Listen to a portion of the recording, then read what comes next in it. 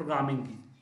तो आज की क्लास में हम बात करेंगे वीवीए माइक्रो प्रोग्रामिंग की और वीवीए माइक्रो प्रोग्रामिंग में हम डिस्कस करने जा रहे हैं सबसे पहले। डेटा टाइप से हम स्टार्ट करेंगे, क्योंकि इस इस बैच में कई सारे बैचों का मिक्सअप है। तो सबसे पहले हम डेटा टाइप के बारे में डिस्कस करेंगे और उसके बाद जो है हम आगे बढ़ेंगे धीरे धीरे और क्लासेस थोड़ी सी लंबी चलेगी तो प्लीज़ आप अपना पेशेंस बनाए रखेंगे। सर रिकॉर्डिंग नहीं हो रहा है।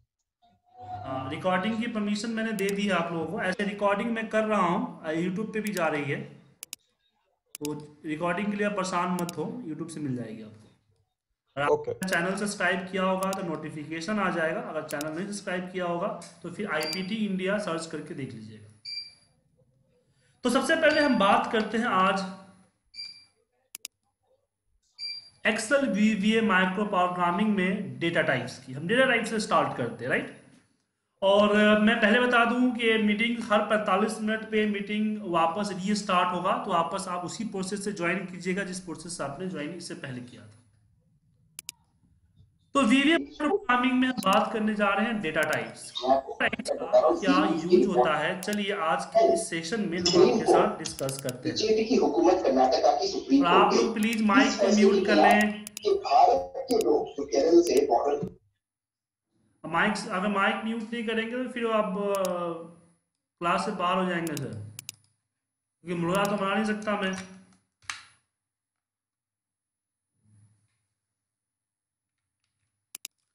तो हम बात करने जा रहे हैं वीवीए माइक्रो पावर प्रोग्रामिंग की। और इसमें हम बात करेंगे सबसे पहले डेटा टाइप्स की। डेटा टाइप्स, जैसे कि आप इंटरनेट पे भी देखते होंगे कि dim, R as integer, long, इसे ऐसे डिफाइन होता है तो आखिर ये होता क्या है? चलिए आज की इस क्लास हम इसी से शुरू करते हैं। उसके बाद हम इसकी कंडीशन लॉजिक लूप्स इसके बारे में आगे की तरफ़ बढ़ेंगे। एक एक्सेल फ़ाइल हम ओपन करते हैं। और मेरे पास ऑफ़िस 365 है।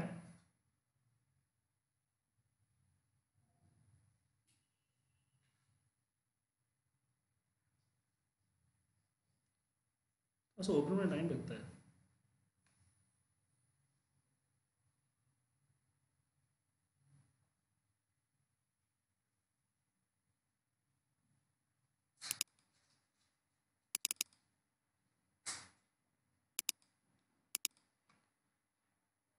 तो जब हम वीवीए माइक्रो प्रोग्रामिंग यूज़ करते हैं तो हम वेरिएबल्स इस्तेमाल करते हैं। मैं रूल्स में जाके आपको बताता हूँ कि हम देते हैं, यहाँ पे बराबर देते हैं कि dim R as a integer चाहे I as a integer long आखिर होता क्या है? इसकी ज़रूरत क्यों पड़ती है? वेरिएबल्स की ज़रूरत क्यों पड़ती है? तो इस चीज़ को जानिए कि हम, अगर मान लीजिए कोई भी कैलकुलेशन हो, जैसे हमने यहाँ पे 50 प्लस 60 किया 30 किया तो ये 50 प्लस 30 का रिज़ल्ट कहाँ पे स्टोर होगा? तो इसको रिज़ल्ट को स्टोर करने के लिए हमें एक लोकेशन की ज़रूरत पड़ती है, जैसे कि ए वन डॉट वैल्यू हमने किया एंड इक्वल टू ए कर दिया। तो यहाँ पे आप जब इसको रन करेंगे हम तो आप देखेंगे कि आपके ए वन के ऊपर एट्टी टाइप कर दिया स्टोर कर दिया। लेकिन प्रॉब्लम क्या होती है कि हर बार ए वन नहीं होता है, क्योंकि हो सकता है ए वन में पहले से कोई वैल्यू हो यूज़ होता हो। सो मैं एक्सेल की किसी भी रेंज को इस्तेमाल नहीं करना चाहता हूँ, हम वीवी प्रोग्रामिंग में। तो इस केस में हम लोग एक वेरिएबल ले लेते हैं, जैसे हमने ले लिया यहाँ पे एम अब एम क्या है? जैसे आप मैथमेटिक्स में एक्स वाई जेड लेते हैं, उसी तरीके से मैंने यहाँ पे एम इस्तेमाल कर लिया। ओके तो यहाँ पे हमने एम इस्तेमाल कर लिया। अब मुझे जहीं कहीं भी एम की मैसेज की ज़रूरत पड़ेगी, जैसे कि मैंने मैसेज बॉक्स में डाल दिया तो वहाँ पे हम वापस एम को ले लेंगे। अब इसको हम प्ले करेंगे तो ये एम हमारा आ जाएगा।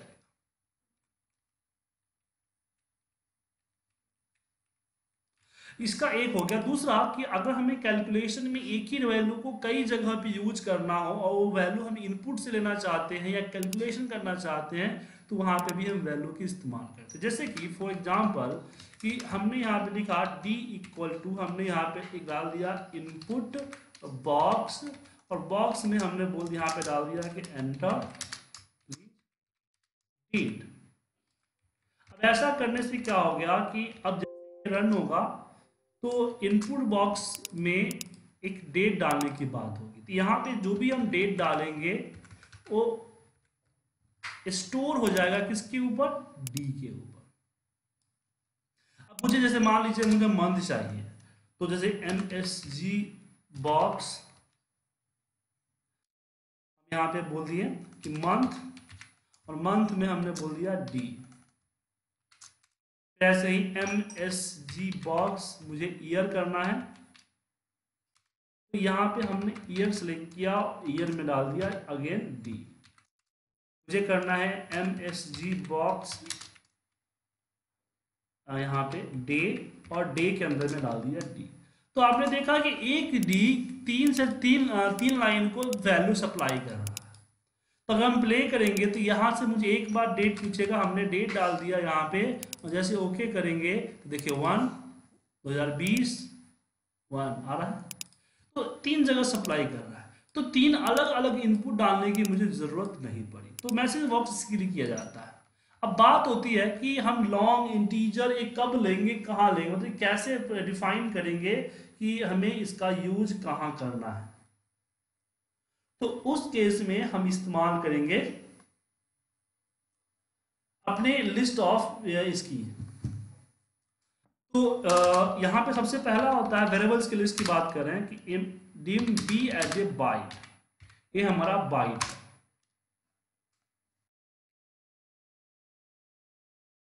बाइट मतलब कि बी के ऊपर आप ज़ीरो से लेके 255 तक की वैल्यू ले सकते हो बिना किसी डेसिमल्स को और बिना किसी निग, इसकी निगेटिव वैल्यू की।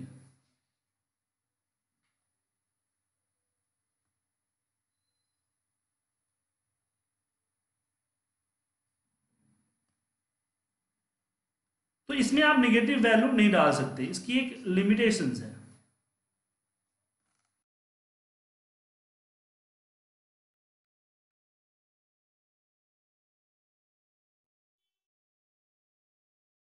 यहाँ पे अगर हम बात करें कि इंटीजर कब ली जाती है तो dim R as a integer हमने दिया। और यहाँ आर इक्वल टू माइनस बत्तीस हज़ार माइनस बत्तीस हज़ार समथिंग से प्लस बत्तीस हज़ार समथिंग हम डाल सकते हैं इस पर लेकिन ए बी डेसिमल्स को रिसीव नहीं करता है।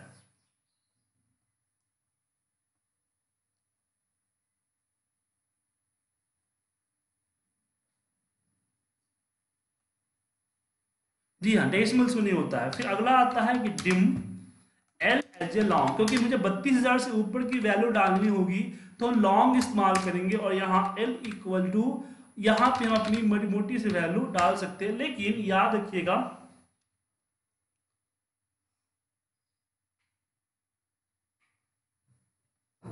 ये भी जो है आपका डेसिमल एक्सेप्ट नहीं करता है। लॉन्ग भी आपका डेसिमल एक्सेप्ट नहीं करता। तो यहाँ पे अगली वैल्यू आती है D as a double double क्या करता है कि डी इक्वल टू आप इसमें डेसिमल्स भी रख सकते हैं और इससे ऊपर की वैल्यू भी रख सकते हैं सबसे बड़ी वैल्यू रख सकते हैं। फिर अगला आता है D T as a date इसमें आप कोई भी डेट वाली वैल्यू डालेंगे, किसी भी फॉर्मेट में डालेंगे तो वो डेट में कन्वर्ट कर देगा। उसके बाद अगला आता है, जैसे कि dim S as a string इसमें स्ट्रिंग की वैल्यू डाल सकते हैं। कोई भी नॉन कैलकुलेटिव वैल्यू जैसे डेटा भी हो टेक्स्ट भी हो, जैसा डालना चाहे, वैसा आप डाल सकते हैं। उसके बाद अगली वैल्यू आती है dim B L as a boolean तो अब ये क्वेश्चन आप लोग पूछ रहे होंगे कि ऐसा क्यों कर रहे हैं मतलब हम? मैं अभी थोड़ी देर सब बताता हूँ आपको। फिर यहाँ पे अगला आता है वी एज ए वेरिएट अब वेरिएंट क्या करता है? कि वेरिएंट में जैसे आपने अगर कोई नंबर डाला तो लॉन्ग हो जाएगा, ज़्यादा नंबर है तो डबल हो जाएगा डेट डाला तो डेट हो जाएगा, जैसा डालोगे वैसा उस तरह से अपने आप को बिहेव करेगा। तो दोबारा जान लीजिए, ये आपका बाइट होता है, जिसकी लिमिटेशन होती है without decimal without zero minus दो से ज़ीरो से लेकर दो सौ पचपन तक। दूसरा आता है R as a integer minus बत्तीस हज़ार से प्लस बत्तीस हज़ार विदाउट डेसिमल लॉन्ग में एक बड़ी अमाउंट की वैल्यू डाल सकते हैं फिफ्टीन डिजिट तक की, लेकिन वो भी without decimals as a double में आप डेसिमल लॉन्ग इंटीजर सारा डाल सकते हैं। और यहाँ D T as a date यहाँ दिख रहा होगा, इस पर आप डेट डाल सकते हैं। एस पे कोई भी टेक्स्ट डाल सकते हैं और बी एल पे आप true and false B L जैसे डालेंगे तो यहाँ पे ट्रू एंड फॉल्स यहाँ डालेगा। और वेरिएंट आपका ऑल राउंडर होता है कि इसमें जो वैल्यू डालोगे उसके अकॉर्डिंग ये बन जाएगा। यहाँ पे क्वेश्चन आती है तो फिर हम वेरिएंट ही हर जगह इस्तेमाल क्यों ना करें? जी हाँ कर सकते हैं, लेकिन इसके भी कुछ रूल्स है, वो समझ लीजिए। देखिए, जैसे ही डीम मतलब होता है डायमेंशन कि आपके हार्ड डिस्क के डायमेंशन में बी नाम का एक डेटा लोकेशन क्रिएट होगा, और उस पर बाइट लॉन्ग इंटीजर ऐसे वैल्यू स्टोर होगी। अब क्वेश्चन यहाँ पे आता है कि जब भी हार्ड डिस्क में कोई भी इवेंट होता है तो उस पर एक स्पेस एक स्पेस एक्वायर होता है। तो अगर बाइट लेते हैं तो आपका टू बाइट अगर इंटीजर लेते हैं तो फोर बाइट लॉन्ग लेते हैं तो एट बाइट डबल में सिक्सटीन होता है। ऐसे ही डेट में एट होता है विलियन में फोर होता है। स्ट्रिंग में मिनिमम आपका एट बाइट और अकॉर्डिंग द टेक्स्ट साइज़ लेकिन आपका वेरिएंट जो है मिनिमम बत्तीस बाइट को कैप्चर एक्वायर करता है, इसकी साइज़ को। अब पहला इसमें क्वेश्चन ये आता है कि फिर तो बाइट है। क्या फ़र्क पड़ता है? मेरे पास तो आठ जी बी सोलह जी बी ऐसे हार्ड डिस्क रैम है one T B two T B का हार्ड डिस्क है। जी हाँ कोई फ़र्क नहीं पड़ेगा। लेकिन ध्यान रखिएगा, जब भी एक सब्जेक्ट आप डिफाइन करते हैं, जब भी एक माइक्रो डिफाइन करते हैं तो उसका एक मतलब कि मैक्रो की साइज़ होती है 255 केबी इससे बड़ा मैक्रो हुआ तो प्रोसीजर टू लार्ज का एरर आएगा और आपका मैक्रो काम करना बंद कर देगा। अब यहाँ पे अगला ऑप्शन आता है कि ठीक है चलिए, लेकिन अगर मैं छोटी मोटी मैक्रो बनाऊँ तो कोई फ़र्क नहीं पड़ेगा। जी हाँ छोटे मोटे मैक्रो पे कोई फ़र्क नहीं पड़ेगा क्योंकि मान लीजिए आप दस लाइन पंद्रह लाइन के मैक्रो बनाते हैं, उसमें आप वेरियंट ही ले लिए तो कोई दिक्कत नहीं है।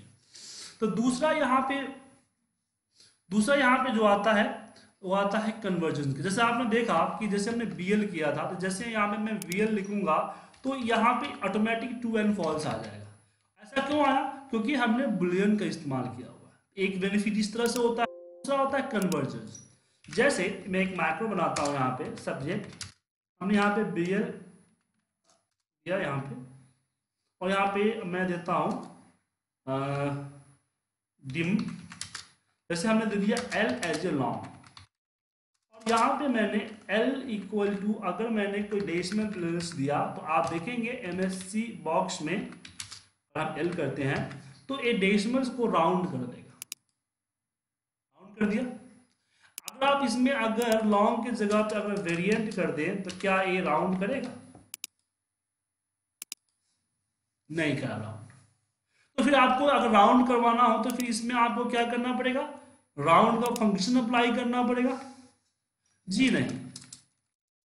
तो लॉन्ग या इंटीजर डाला तो आप उसकी वैल्यू सी के अकॉर्डिंग कन्वर्ट हो जाती है। अगर थर्टी सिक्स है, अगर मैं यहाँ पे मान लो फिफ्टी सिक्स करूँ तो देखिए फोर हो ट्वेंटी फोर हो जाएगा।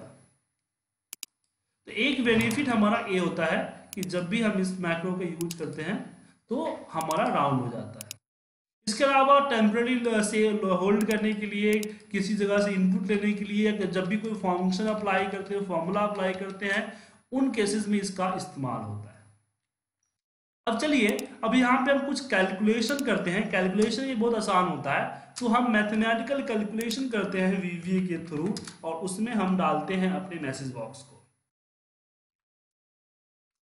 एम के नाम से बना रहा हूँ। मैं पहली माइक्रो जैसे कि मेरे पास, मान लीजिए कि यहाँ पे क्वार्टर वन की सेल है, यहाँ पे क्वार्टर टू की सेल है और मुझे सी पे ग्रोथ चाहिए। तो मुझे क्वार्टर वन की सेल दिख गई क्वार्टर टू का सेल यहाँ दिख रहा है आपको और मुझे इसमें ग्रोथ चाहिए तो ग्रोथ कैसे लेंगे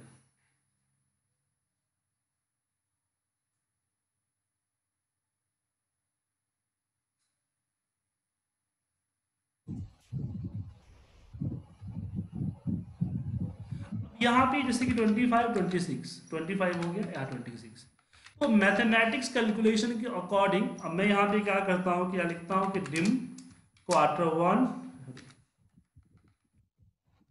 quarter one comma quarter two एक साथ हम दो वेरिएबल इस तरह से डिफाइन कर सकते हैं एज ए लॉन्ग एक यहाँ पे फिर डिम यहाँ पे growth G as a double double क्यों किया, मैं बताता हूँ। तो यहाँ पे होगा कि जी, यहाँ पे हम लिखेंगे क्वार्टर में वैल्यू असाइन करना पड़ेगा। Quarter one equal to range A two dot value और फिर यहाँ quarter two equal to range यहाँ पे हमने डाल दिया B two B two dot value okay? अब यहाँ पे कैलकुलेशन कर रहे हैं।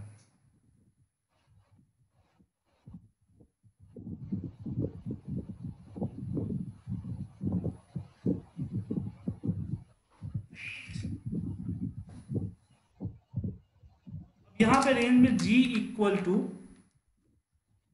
हमने बोला कि लेटेस्ट माइनस में quarter two minus quarter one divide by quarter one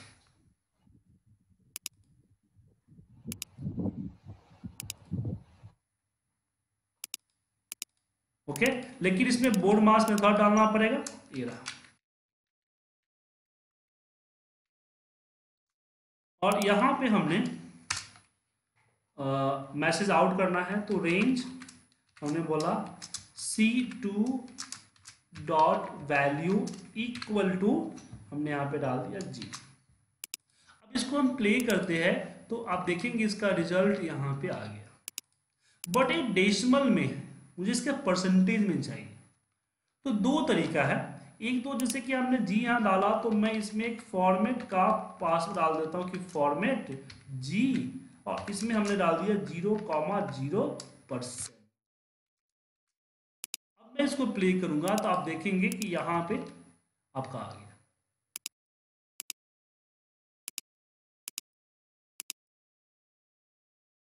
ठीक है? क्वेश्चन ये आता है कि ये तो चलो एक सेल था, इसलिए कर दिया, लेकिन मान लीजिए कि मेरे पास इस तरह से और बहुत सारे हैं। तब क्या करेंगे? अब यहाँ पे ध्यान रखिएगा, अब यहाँ पे मैं यूज़ करने जा रहा हूँ लूप तो लूप का एक नया यहाँ यूज़ होगा कि लूप का इस्तेमाल कैसे होता है, इसके बारे में यहाँ हम आपके साथ डिस्कस करने वाले हैं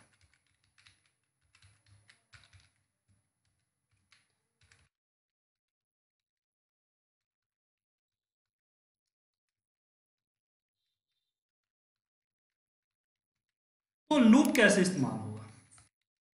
तो जिस, क्योंकि अगर यहाँ पे ऐसा हुआ तो सिर्फ़ ए टू बी टू ही ले रहा है। ऐसे मान से मुझे A three A four A five सबका लेना होगा। तो कैसे नहीं तो अब मैं यहाँ लूप इस्तेमाल करता हूँ। तो लूप का यूज़ क्यों होता है? रिपीट करने के लिए होता है। तो हमने लिखा फोर आई इक्वल टू चले टू से चले, कहाँ तक? इलेवन तक। तो टू यहाँ पर है। हमने वन से नहीं किया क्योंकि वन में रो है टू से लेके इलेवन तक चले, यहाँ पे मैंने इलेवन डाल दिया। और फिर मैंने इसको नेक्स्ट आई कर दिया। तो अभी क्या करेगा कि जो कोड है, इसको एक इसको जो है दस बार रन करेगा। जी हाँ दो से लेके इलेवन दस होगा, दस बार वन बाई वन रन करेगा। अब ये रन कितना बार हुआ है, इसकी काउंटिंग आई पे होगी। अगर मैं इसको अगर मैं इसको स्टेप इन्फो से आपको समझाऊं तो यहाँ आप देख सकते हैं, मैं डिबग पे जाता हूँ स्टेप इन्फो एफ़ इसका शॉर्टकट होता है। तो आप देख रहे हैं कि इसने यहाँ पे किया, अभी आई जो है आई भी एक वेरिएबल है, यहाँ पे इम्बेटी है, खाली कुछ नहीं है। लेकिन जैसे मैं स्टेप रिमूव करूँगा तो आई इक्वल टू वन हो जाएगा टू हो जाएगा सॉरी टू से स्टार्ट टू हो गया। बाकी सारे प्रोसीजर को रन करेगा। वन बाई वन अब वापस जो है, आप देखेंगे आई यहाँ पे एक इंक्रीज हो गया थ्री हो गया। तो जब ये चलता है तो पहले नेक्स्ट चेक करता है कि आई का वैल्यू जो है, वो क्या एलेवन से छोटा है? अगर छोटा है तो फिर फोर को वापस भेज देता है कि वापस इसको रन करो। फिर वापस आई अपनी वैल्यू इंक्रीज करता है। अब यहाँ पे आई चेक करेगा कि जो थ्री क्या लेस देन इलेवन है? लेस देन इलेवन है तो फिर वापस लूप को भेजेगा। और लूप वापस देखिए आई पे फोर हो गया। अब यहाँ पे क्वेश्चन आता है कि अब मैं यहाँ पे टेन टाइम चला रहा हूँ, फिर भी रिज़ल्ट जो है, आप देखेंगे सिर्फ़ सिंगल को ही दे रहा है। क्यों? क्योंकि हमने इनपुट जो लिया है, वो फिक्स ए टू से बी टू से लिया है और सी टू पे हमने आउटपुट दिया है। तो इसको अगर मैं डायनेमिक कर दूँ मतलब टू को इंक्रीजमेंट पे डाल दूँ कि जैसे आई इंक्रीज हो रहा है वन टू थ्री हो रहा है, इस तरह से ए भी हो तो यहाँ इसके दो तरीके हैं। एक तरीका है जो हम लोग इसमें सी प्लस प्लस में यूज़ करते थे कि आर एक हम यहाँ पे एक डिफाइन करते हैं variable R equal to R plus one और यहाँ हम टू को डिलीट करते हैं और इसके साथ कॉन्करेंट कर देते हैं आर को।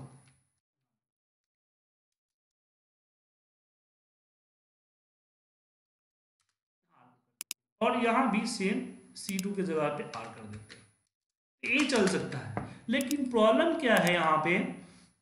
कि जब मेरे पास ऑलरेडी आई है आई वही काम करता है जो आर काम करेगा। क्योंकि आर जब चलेगा तो आर पहले ब्लैंक होगा blank plus one equal to one तो यहाँ पे ए के साथ ए वन हो जाएगा बी वन हो जाएगा और सी वन हो जाएगा। फिर दोबारा चलेगा तो आर ऑलरेडी वन होगा तो one plus one equal to two हो जाएगा। तो यहाँ पे ये हम ना करके दूसरा तरीका जो मोस्टली यूज़ करते हैं कि इस आई जो हमारा फोर का आई है, इसी को ले लेते क्योंकि ये भी एक वेरिएबल है और इसका भी वही यूज़ है। तो अब मैं अगर इसको स्टॉप करूँ और शुरू से यहाँ पे आके प्ले करता हूँ मैं तो आप देखेंगे कि पूरा डेटा हमारे पास परसेंटेज में आ गया। तो ये मैथमेटिकल कैलकुलेशंस के लिए भी इस्तेमाल की जाती है। अब यहाँ पे हमने वेरिएबल्स लिए, इसलिए वेरिएबल्स लिए क्योंकि यहाँ कैलकुलेशन करने में हमें बड़ी आसानी हुई। कैलकुलेशन करने में बहुत आसानी हुई, इसलिए। अब चलिए अगली कैलकुलेशन करते हैं। अगली कैलकुलेशन में मान लीजिए मुझे इंटरेस्ट निकालना है, दूसरी शीट पर चलते हैं। हमारे पास प्रिंसिपल है, हमारे पास रेट है, हमारे पास टाइम तो मैं यहाँ पे कुछ छोटा सा डेटा बना लेता हूँ।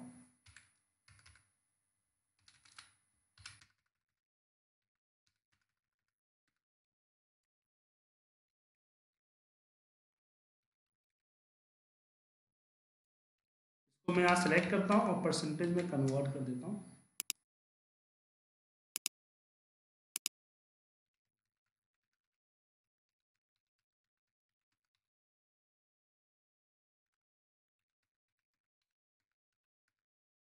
और टाइम में यहाँ पे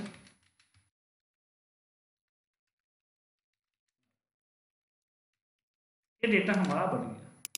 अब मुझे यहाँ पे इंटरेस्ट रखना है। हालाँकि इंटरेस्ट के लिए यहाँ पे हमारे पास ऑलरेडी फ़ंक्शन होता है पीवी का लेकिन मैथमेटिकल कैलकुलेशन का इस्तेमाल करना चाहते हैं। तो क्या होगा? कैसे करेंगे? पहले इसका फ़ंक्शन मैटर बनाते हैं। तो यहाँ पर लिखते हैं शब्द I N C bracket open close यहाँ पे हम देते हैं कि डिम पी एज ए हम देते हैं लॉन्ग उसके बाद डिम यहाँ पे R rate as a double होगा, क्योंकि डेसिमल हमेशा डबल में होता है। यहाँ भी हमने जी को डबल लिया था। क्यों लिया था? क्योंकि जी पे जो कैलकुलेशन होगी, वो परसेंटेज की होगी और परसेंटेज हमेशा डेसिमल में होता है। और ऐसे टी एज ए अब मैं यहाँ पे इंटीजर भी ले सकता हूँ, क्योंकि बत्तीस हज़ार से ज़्यादा साल तो होगा नहीं। या फिर आप यहाँ पे बाइट भी ले सकते हैं। ईयर में है तो मैं आप बाइट भी ले सकते हैं, क्योंकि साल माइनस में होगा नहीं और डेसिमल में होगा ही नहीं। तो बाइट ले लीजिए। यहाँ पे हम फोर लगाएँगे कि फोर आई इक्वल टू चले टू से लेके फोर्टीन तक। अभी हम मैनुअल ले रहे हैं, हम आगे इसको ऑटोमेट करना भी सिखाएँगे लूप में। तो फोर्टीन तक चले, और यहाँ हमने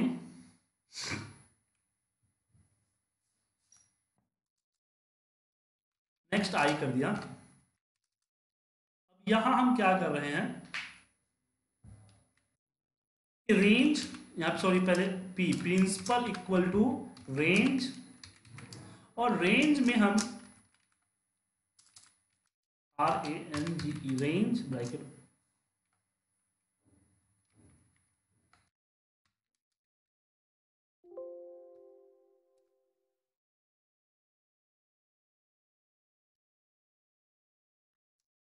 range A के साथ हमने कंबाइन किया। आई को और डॉट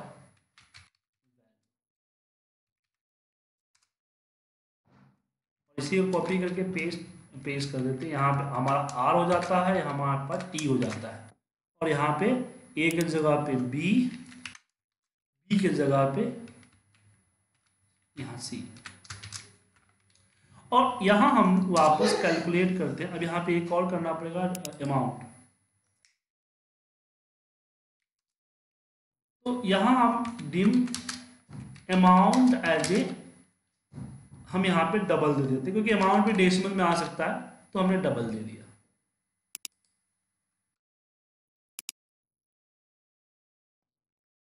और डबल देने के बाद मैं यहाँ पे लिखता हूँ amount equal to P multiply by one plus R divide by twelve power of T multiply by twelve और फिर इन दोनों को एक ब्रैकेट में ले लूँगा मैं, ताकि कैलकुलेशन आसानी से कर सकूँ।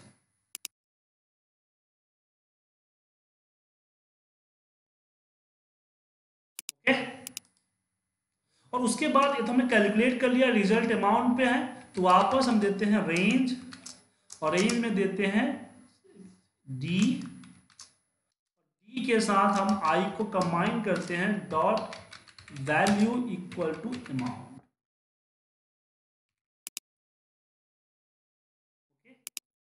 और फिर मैं इसको यहाँ से भी रन करूँ या फिर मैं यहाँ माइक्रो यहाँ से डेवलपर में जाके माइक्रो से भी इसको रन कर सकता हूँ। हाँ। यहाँ पे दिक्कत आ गई क्योंकि यहाँ पे टी हमने दिया ही नहीं है तो यहाँ पे टी देना पड़ेगा। गलती हो गई थी हाँ। अब देखिए ये हमारा इंटरेस्ट कैलकुलेट हो गया। तो इस तरह से हम इसकी कैलकुलेशन को यूज़ करते हैं। अब हम बात करते हैं इसमें एरर की। हाँ एरे की बात करते हैं। एरे के बारे में चलिए जानते हैं। हेलो हेलो हाँ बताइए। सर इसमें ये एक क्यों लिया वन प्लस ये इसमें। इसमें ये तो इसका कंपाउंड इंटरेस्ट का फॉर्मूला है क्या सर? कंपाउंड इंटरेस्ट की मैथमेटिकल फॉर्मूला है। ये one plus R slash twelve जी जी। मैथमेटिक्स में जाएँगे तो अमाउंट होता है P multiply by one plus R divide by N N मतलब कि आपका मंथली है तो बारह होगा या ईयरली इंटरेस्ट है तो आपका वन होगा हाफरली है तो टू होगा and T multiply by also N ये है फॉर्मूला इसी फॉर्मूले को मैंने यहाँ पे डाला हुआ है। ठीक है। ठीक है? चलिए। जी। अब यहाँ पे हम बात करते हैं एरे की। राइट एरे के साथ हम कंडीशंस को भी लगाएँगे। अब जैसे कि मान लीजिए कि हमें एक एक पे, एक रेंज पे हमने अभी यहाँ पे जो वेरिएबल दिया, उस पे हमने एक पी पे एक ही वैल्यू लूँगा। जैसे मैंने अगर यहाँ पे भी वेरिएबल दिया बी एज ए बाइट तो मैं यहाँ पे अगर b इक्वल टू अगर मैंने 50 किया तो 50 रहेगा। और जैसे b इक्वल टू मैं नीचे 60 कर दिया तो मेरा 50 रिप्लेस होके 60 हो जाएगा। अब मुझे 50 भी स्टोर करना है और 60 भी स्टोर करना है। मतलब कि मोर देन वन फ़ील्ड को स्टोर करना है। तो उस केस में हम एरे डेटा टाइप का इस्तेमाल करते हैं। जी हाँ एरे तो एरे कैसे डिफाइन किया जाता है? तो जैसे कि आप यहाँ पे डिम हमने ले लिया यहाँ पे मान लीजिए ओ ओ में आप कि, कितने रो और कितने कॉलम में करना चाहते हैं? सिर्फ़ रो का करना है एक ही कॉलम रो तो वन टू हमने टेन कर दिया। अब ये हो वन टू टेन और अच्छा डीम में यहाँ चाहिए था। हाँ डीम और एज अपना कास्ट ले लिया, जैसे लॉन्ग तो एरे क्या होता है कि एक ही वेरिएबल पे सेम कास्ट के मल्टीपल डेटा स्टोर की जाती है। तो अब मुझे वैल्यू स्टेट करना होगा। तो मैं यहाँ पे ओ और ओ के साथ हम ब्रैकेट में वन लिखेंगे और इक्वल टू कर देंगे फिफ्टी फिर ओ लिखेंगे, यहाँ टू कर देंगे तो यहाँ लिख देंगे सिक्सटी फिर ओ करेंगे और यहाँ पे लिख देंगे थ्री इक्वल टू थर्टी इस तरह से। ठीक है? अब इसका यूज़ क्या होता है? चलिए हम बात करते हैं। अब जैसे कि फॉर एग्ज़ाम्पल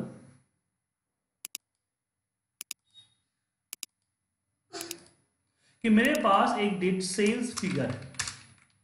राइट बहुत सारा फिगर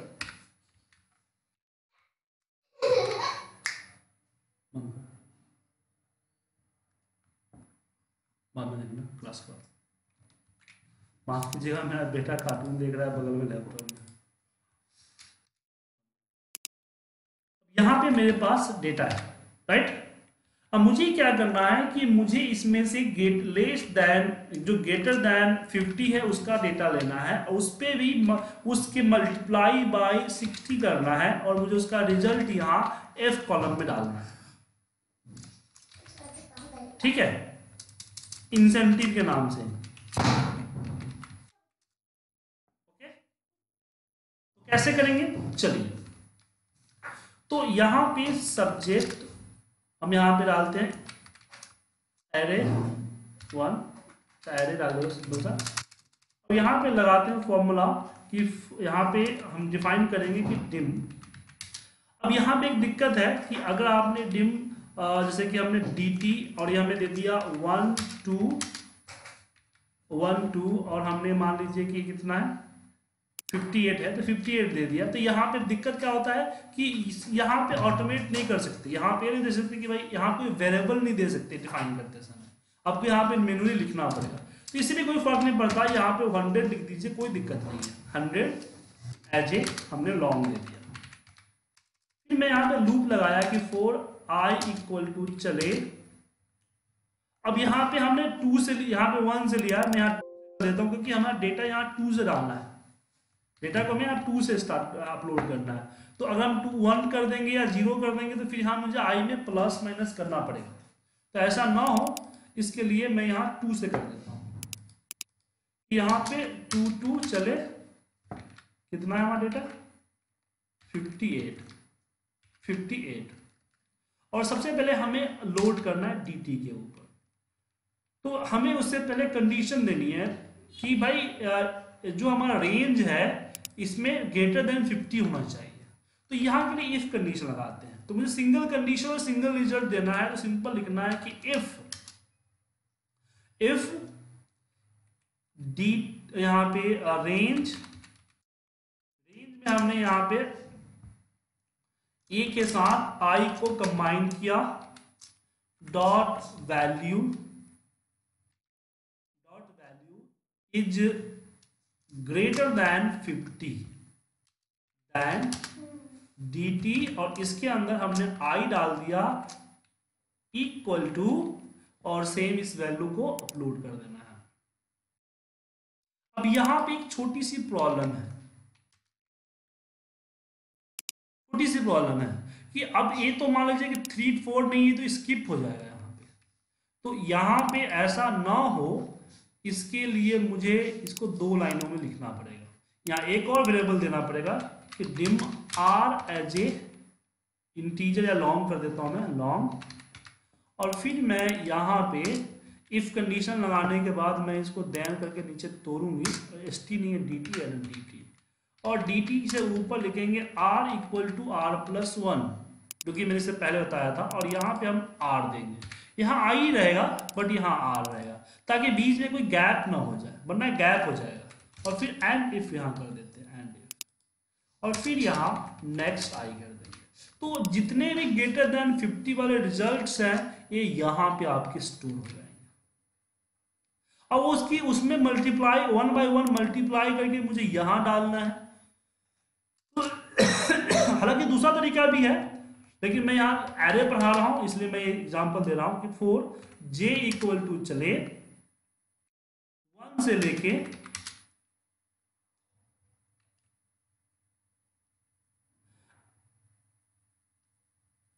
वन से लेके, अब यहाँ दिक्कत हो जाएगी वन से लेके। अच्छा अभी थोड़ी देर में आपकी ये फिर से रिज्वाइन होगा। फिर से रिज्वाइन कर लीजिएगा प्लीज़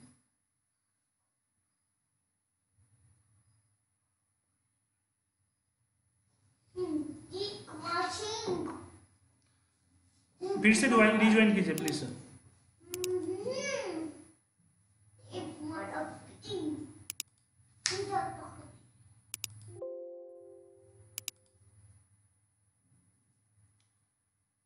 क्या हो गया?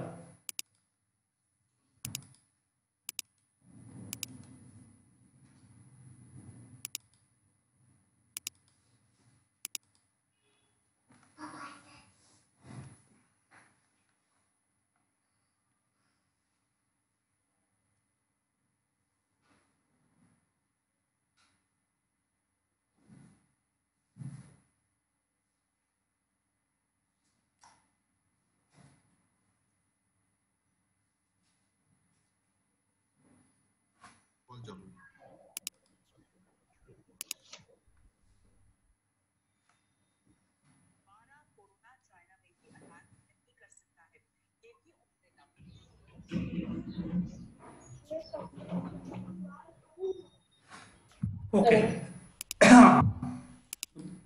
बाकी सब आगे? फिर से रिकॉर्ड कर लीजिए मैं परमिशन दे दे रहा हूँ। हेलो हाँ सुन रहा हूँ मैं। सर ये समझ में नहीं आ रहा है कोई समझ में आ जाए, दो मिनट दीजिए।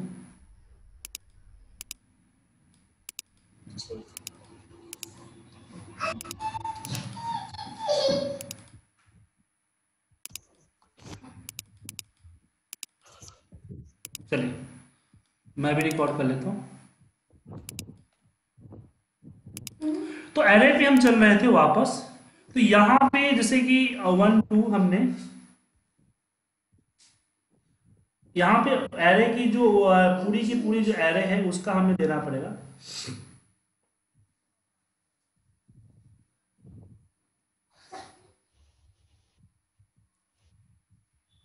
जैसे कि अभी अभी अ, किसी ने बोला मुझे समझ में नहीं आ रहा है तो मैं उनको दोबारा फिर से शुरू से समझाता हूँ कि आखिर क्या है इसमें। जैसे कि एरे क्या होता है अब यहाँ पे देख लीजिए ना कि मुझे अब एक चीज़ जानिए एरे का इस्तेमाल क्यों होता है? पहले एक चीज़ को समझ लीजिए। अगर यहाँ पे कि मुझे अगर मान लीजिए कि पाँच पाँच ये डेटा स्टोर करना है तो मुझे यहाँ पे लिखना होगा dim K comma A comma B comma C comma D comma E comma F as a long ठीक है? फिर मैं यहाँ पे a इक्वल टू ट्वेंटी लिखूँगा बी इक्वल टू थर्टी जो भी रिज़ल्ट वैल्यू देना है, वो हम यहाँ दे सकते हैं।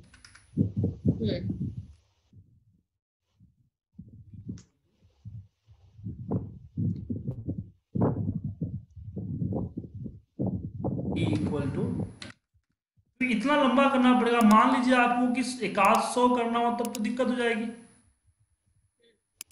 क्या? हाँ सर।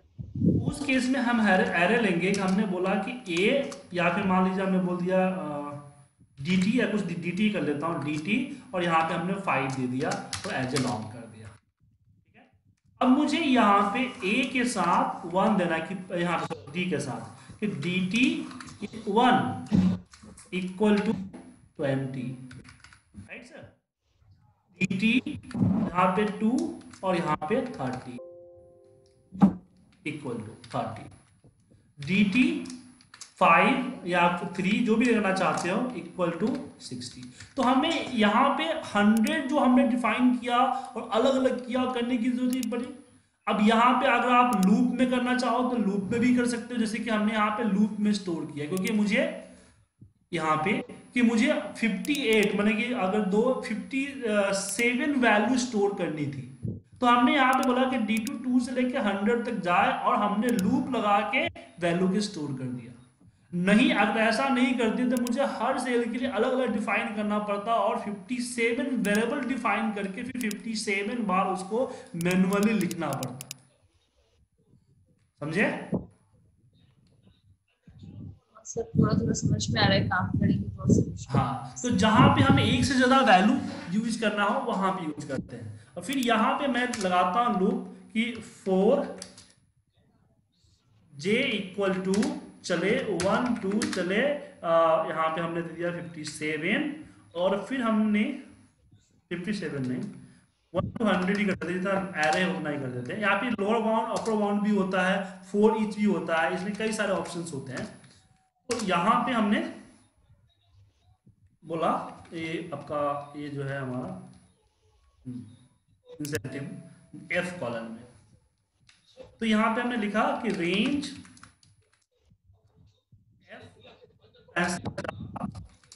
डॉट एंड और एक्सलेस अप और एक्सएलएस अप में हमने दिया डॉट ऑफसेट ऑफसेट में किया हमने one comma zero dot value is equal to हमने बोला डी टी डी टी और डी टी के अंदर हमने आई को डाला और इसको मल्टीप्लाई बाई सिक्सटी कर दिया। ठीक है? अब इसको अगर मैं प्ले करता हूँ तो इसमें से सारे 60 वाले ग्रेटर देन 50 वाले को 60 से मल्टीप्लाई करके यहाँ पे स्टोर कर देगा।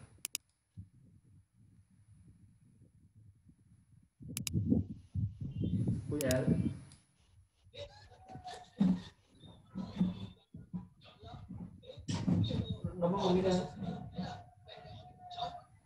Abu, where is your mama?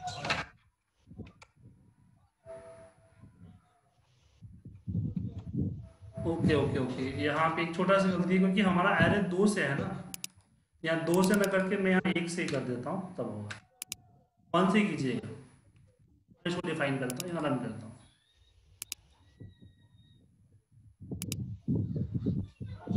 यहाँ पे ज़ीरो क्यों आ गया? समझ नहीं आ रहा।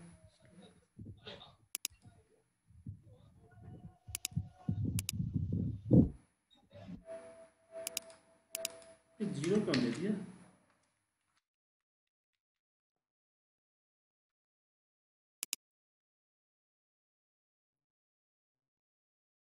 आई दिया था इसलिए ऐसा हो गया। यहाँ मुझे जे देना चाहिए था। एक छोटी सी गलती हो गई। और यहाँ भी नेक्स्ट जे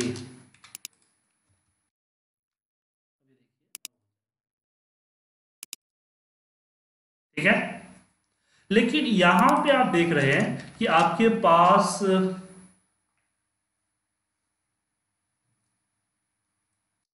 नीचे जो है फालतू में ज़ीरो ज़ीरो क्योंकि वैल्यू तो हमारी सताईस ही थी।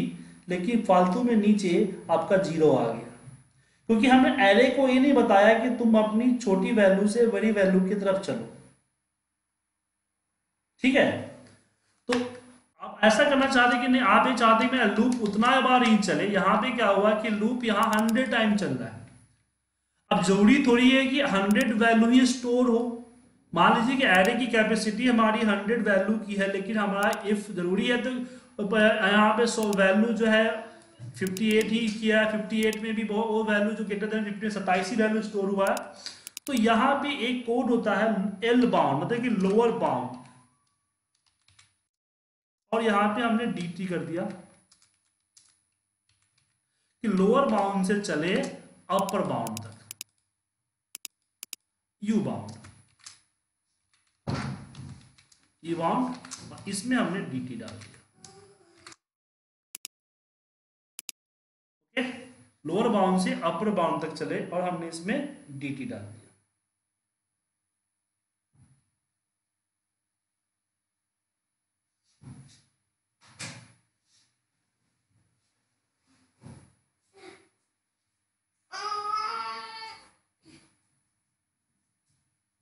अब इसको एक बार रन करता हूँ मैं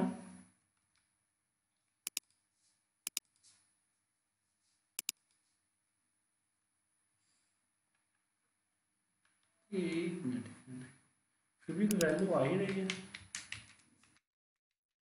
एरर है उतना ही चला इसमें फिर कॉमा वन कर देते हैं तब क्या होगा लोअर ओपन बाउंड मतलब है छोटे से बड़े में वैल्यू की मतलब नहीं होता है। कितना वैल्यू से कोई मतलब नहीं होता लोअर बाउंड में। लेकिन हाँ इस हेलो हाँ लो सुनो सर ये जो आपने रेंज लिखा है ना रेंज के बाद F six sixty five thousand क्यों लिखा हुआ है? एफ़ बेसिकली मुझे एक के मुझे एक के नीचे एक के नीचे करना था इसलिए। नहीं सर रेंज के बाद जो लिखा है ना रेंज इन्वर्टेड को इन्वर्टेड के। बाद F six six five zero zero sixty thousand क्यों लिखा हुआ है? कौन पूछ रहे हैं? सो ने देखिए शोभन जी क्या है बताता हूँ आपको। कि यहाँ रेंज के बाद बताता हूँ। नहीं नहीं जो सुनिए, एक बात सुनिए ना पूरी बात कंप्लीट होने दीजिए ना।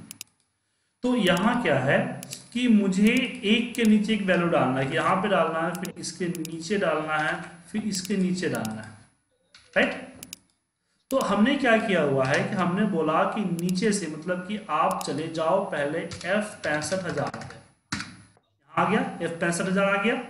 अब यहाँ से हमने बोला है डॉट एंड एक्सलेस अप मतलब कंट्रोल दबाओ और अप एरो प्रेस करो। तो ये चले जाओगे सबसे लास्ट वाले सेल पे।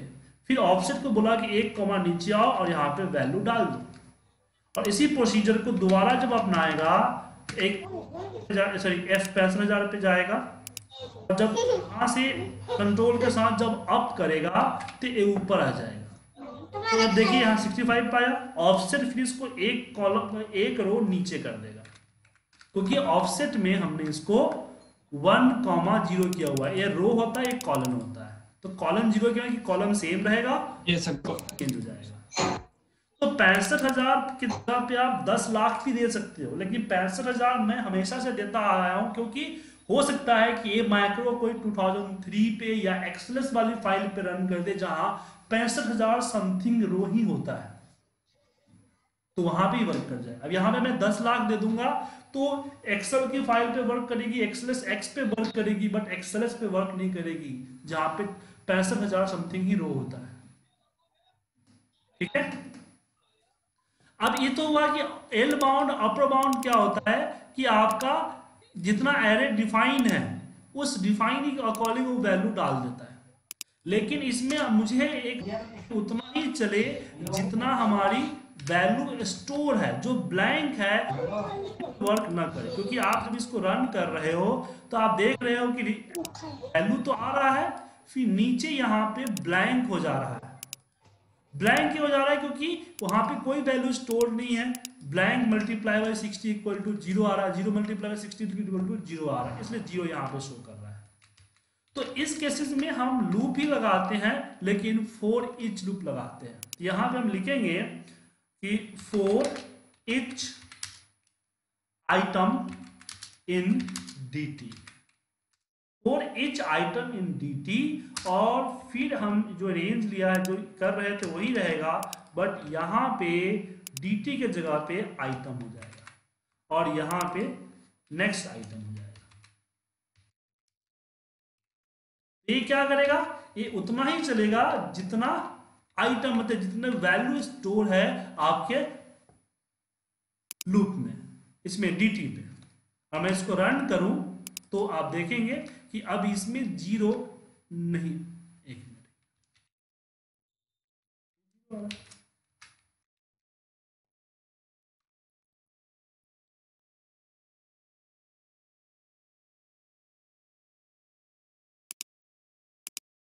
multiply by sixty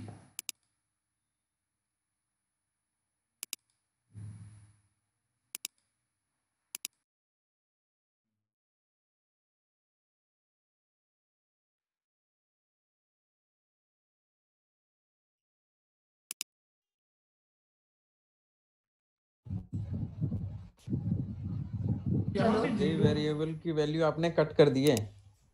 किसकी वैल्यू आपने जो डाला था जे वेरिएबल वो आई थिंक प्रोग्रामिंग में से कट हो गया वो वो कट कर दिया उससे मतलब नहीं यहाँ पे क्यों चल रहा है? मतलब कि ये समझ में आ रहा है कि एरे जो है हमने बोल दिया for each item in dt तो उतना ही वर्क करना चाहिए।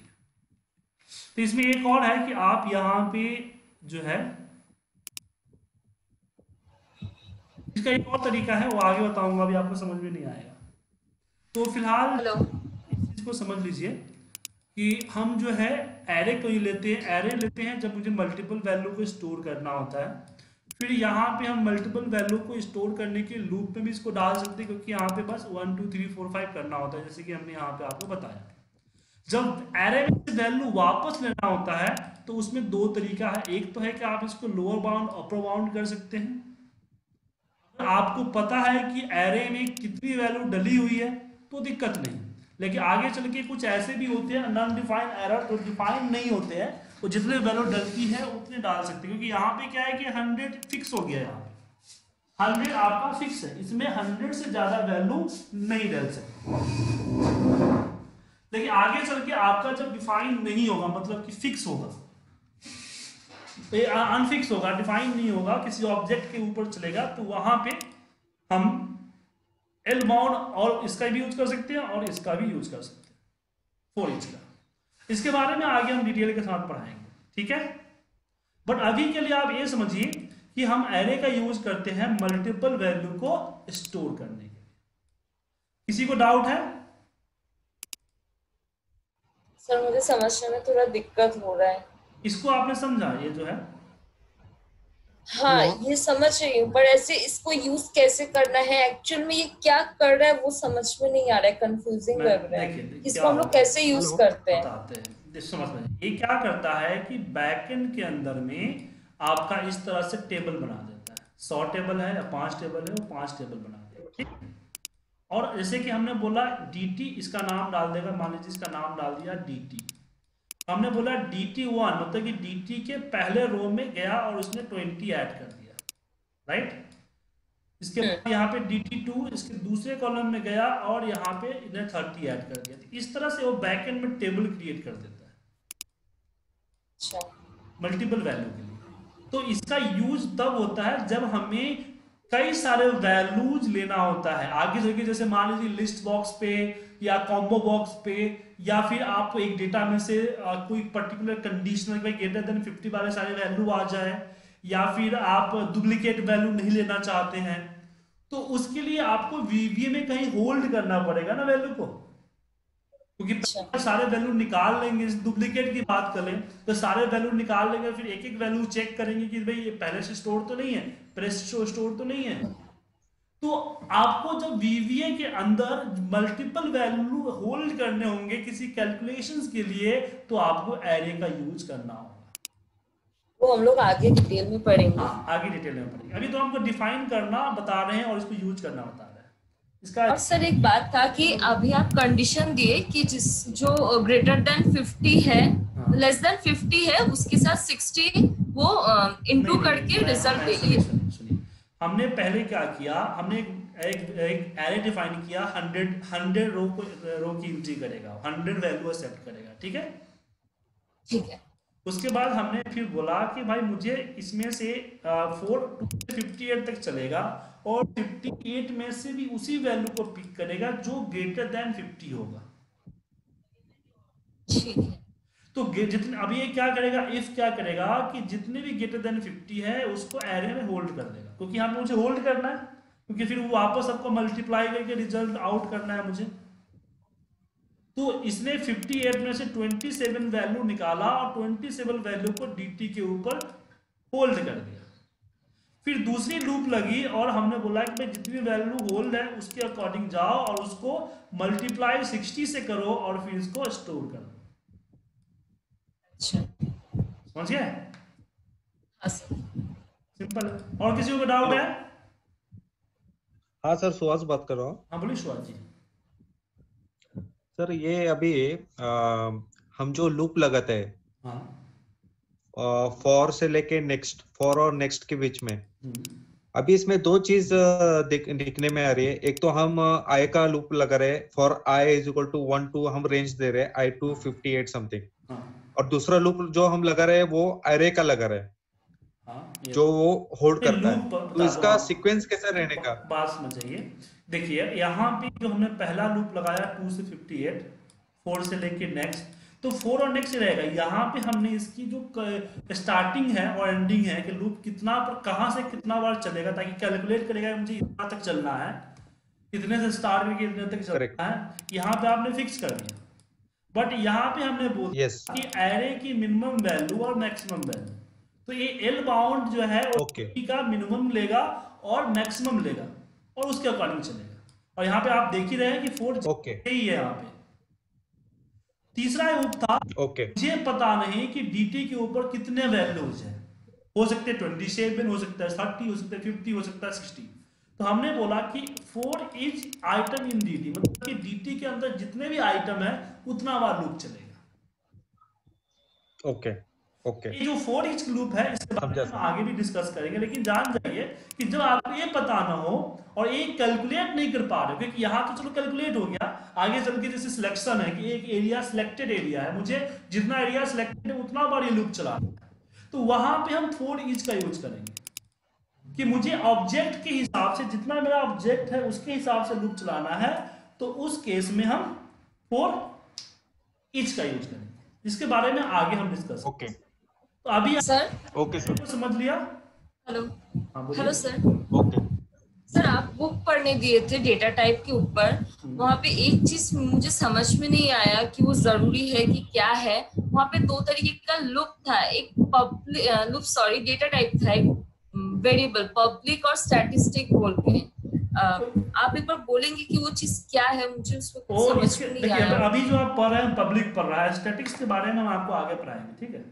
अभी आप अच्छा सर ठीक है। और पब्लिक स्टैटिक और एक और भी होता है अ, क्या बोलते हैं उसको? ग्लोबल अच्छा। चलिए अब वापस चलते हैं। तो फिर दिक्कत हो जाएगी। अब यहाँ पे हमने एरे को पढ़ लिया। अब एरे के बाद अगला जो आता है, वो आता है ग्लोबल वेरिएबल की। अब इसके लिए मैं एक और रूल्स लेता हूँ। ग्लोबल वेरिएबल क्या करता है? जैसे कि अगर मैंने यहाँ पे सब्जेक्ट मान लीजिए कि हमने एक माइक्रो बनाया और यहाँ पे हमने लिखा, यहाँ पे वेरिएबल दिया कि डिम पी एज ए हमने यहाँ पे पी एज ए हमने यहाँ पे लॉन्ग दिया और हमने पी की वैल्यू कहीं से लाई या इसी पे हमने डाल दिया थर्टी राइट सर अब मैं यहाँ पे एम एस जी बॉक्स के अंदर, एक मिनट, एक और मैक्रो बनाता हूँ, दूसरा आ रहा, यहाँ पे आ रहा अंडरस्कोर वन कर दिया। अब मैं चाहता हूँ कि मुझे यहाँ पे एक, यहाँ पे एम एस जी बॉक्स और इसमें वापस मैंने पी कर दिया। अब यहाँ इसको रन करूँगा तो यहाँ पे आप देखेंगे कि ब्लैंक होगा। और यहाँ इसको रन करने के बाद भी रन करूँगा इसको मैं, फिर भी आप देखेंगे कि ब्लैंक होगा। अब यहाँ पे ध्यान रखिएगा कि एक वेरिएबल जो आपका वेरिएबल होता है पब्लिक वेरिएबल जो होता है आपका, एक वेरिएबल दूसरे, एक माइक्रो के दूसरे माइक्रो के वेरिएबल को कॉल नहीं किया जा सकता। मतलब कि आप यहाँ अगर कोई वैल्यू कैलकुलेट करते हैं तो आपको मजबूरन स्टोर करना पड़ेगा एक सीड के अंदर। जैसे कि मैं अगर मान लीजिए कि पी की वैल्यू हम जे वन पे स्टोर कर दें तो फिर जे वन को यहाँ कॉल किया जा सकता है। समझे? होता है क्या है कि जब हम वेरिएबल डिफाइन करते हैं तो उसकी जो उम्र है, इस एंड सब तक ही होती है। जैसे एंड सब खत्म हुआ, इस पे जो भी कैलकुलेशन स्टोर हुआ, या जो भी वैल्यू स्टोर हुआ, वो सारी की सारी डिलीट हो जाती है। तो एक इसलिए मैंने बोला कि वेरिएबल का यूज़ होता है टेम्पररी डेटा सेविंग लोकेशन समझ गया? लेकिन मेरी ज़रूरत है कि मैं चाहता हूँ कि मैं एक वेरिएबल को कई सारे माइक्रो में यूज़ कर सकूँ। समझे? तो हमें क्रिएट करने पड़े ग्लोबल वेरिएबल तो ग्लोबल वेरिएबल के लिए सबसे पहले ऊपर जाएँ और यहाँ आप डालें कि dim P as a long okay अब यहाँ पे पी इक्वल टू थर्टी कर दिया और मान लीजिए कि मैं यहाँ पे और करता हूँ कि पी इक्वल टू हमने यहाँ पे पी के साथ प्लस कर दिया 58 और फिर ये तीसरा माइक्रो लिया और तीसरा माइक्रो में हमने यहाँ पे एक वेरिएबल में हमने बोला कि p इक्वल टू p के को को मल्टीप्लाई कर दिया टू से। और चौथा माइक्रो हम यहाँ लेते हैं और उसमें हम p को स्टोर करते हैं। यहाँ पे M S G box P करते हैं। तो अब यहाँ पे अगर मैं direct direct R R three को रन करूँगा तो यहाँ पे आप देखिए ज़ीरो शो करेगा। करेगा ना सर क्यों? कि मुझे इस पे शो करने के सबसे पहले पहला मैक्रो मुझे रन करना होगा, फिर मुझे दूसरा मैक्रो रन करना होगा, फिर मुझे तीसरा मैक्रो रन करना होगा, फिर आप यहाँ देखेंगे पी आपको रिज़ल्ट दिख रहा है 176 दिख गया? तो इस तरह से आप ग्लोबल वेरिएबल इस्तेमाल कर सकते हैं कि जैसे आप मान लीजिए कि एक माइक्रो रन हो उसमें जो कैलकुलेशन हुई है वो कैलकुलेशन को आप दूसरे माइक्रो में कॉल करना चाहते हैं। तो ग्लोबल वेरिएबल का इस्तेमाल करेंगे और ग्लोबल वेरिएबल को हमेशा इसी तरह से यूज़ करते हैं। किसी को डाउट हेलो हेलो हाँ बोलिए। एक एक करके हाँ सर सुभाष बोल रहा हूँ। हाँ बोलिए शिवाज जी। हाँ सर ये जो ग्लोबल आपने अ, बताया डिम पी एज लॉन्ग। हम्म, तो इस ये जो चार माइक्रो जो हमने बनाए हैं तो इसको एक साथ हम रन नहीं कर सकते क्या? सिक्वेंसली एक साथ रन कर सकते हैं तो उसके लिए फिर आपको एक पांचवा वेरिएबल बनाना पड़ेगा ठीक है? पांचवे वेरिएबल में आपको उस सारे माइक्रो को कॉल पड़ेगा कि आर आर सारे माइक्रो को कॉल करना होगा। R R R R slash one R R slash two ऐसे इस तरह से। ठीक है? और उसको सिक्वेंसली लेना पड़ेगा ना? तभी तो सर मतलब कि जब रन होगा अब जब ये रन होगा तभी तो पी को स्टोर करेगा ना। ओके ओके करेक्ट रन नहीं होगा तो पी स्टोर ही नहीं होगा। और दूसरी Yes. चीज़ आप एक मॉड्यूल में जो आपने वेरिएबल डिफाइन किया है उसको दूसरे मॉड्यूल पे कॉल नहीं कर सकते। तो आपकी Okay. वेरिएबल जो डिफाइन होती है सिर्फ़ एक मॉड्यूल्स पे डिफाइन होती है। ओके अगला सवाल? हेलो यस सर हाँ बोलिए। सर मेनली इसका यूज़ कहाँ पे करते हैं हम लोग? अभी के लिए ठीक है कि, मतलब हम इसको एज एग्ज़ाम्पल के लिए देख रहे हैं। जैसे तो कि मान लीजिए हम- आगे चल के जब यूज़र फॉर्म आप क्रिएट करेंगे राइट तो आपने यूज़र जी। देखते होगा ना जैसे कि आप लोग जब एक इंटरनेट पे फॉर्म भरते हैं भरते हैं ना सर तो आपने सारा फिलअप कर लिया। फिलअप करने के बाद जब वो बटन पे क्लिक कीजिएगा प्रीव्यू का बटन पे क्लिक कीजिएगा तो आपको फिल की गई सारी की सारी डिटेल्स यहाँ दिख जाती है। दिख जाती है। फिर मतलब एडिट मतलब क्लिक करते हो एक मिनट में बात कंप्लीट Okay. जब एडिट पे कंप्लीट हो तो फिर वापस एडिट में आ जाता है। फिर सबमिट पे क्लिक करते हो तो सबमिट हो जाता है। तो कहने का मतलब कि टेम्परली वो सेव कहाँ होता है? जब सबमिट पे बटन पे क्लिक करोगे तभी वो उसको डेटाबेस में भेजता है। अगर मान लीजिए कि आप फॉर्म भर दिए प्रीव्यू करके कैंसिल कर दिए या फिर फ़ाइल बंद कर दिए तो फिर दोबारा आपको चीज़ तो मिलेगी नहीं। मिलती है सर?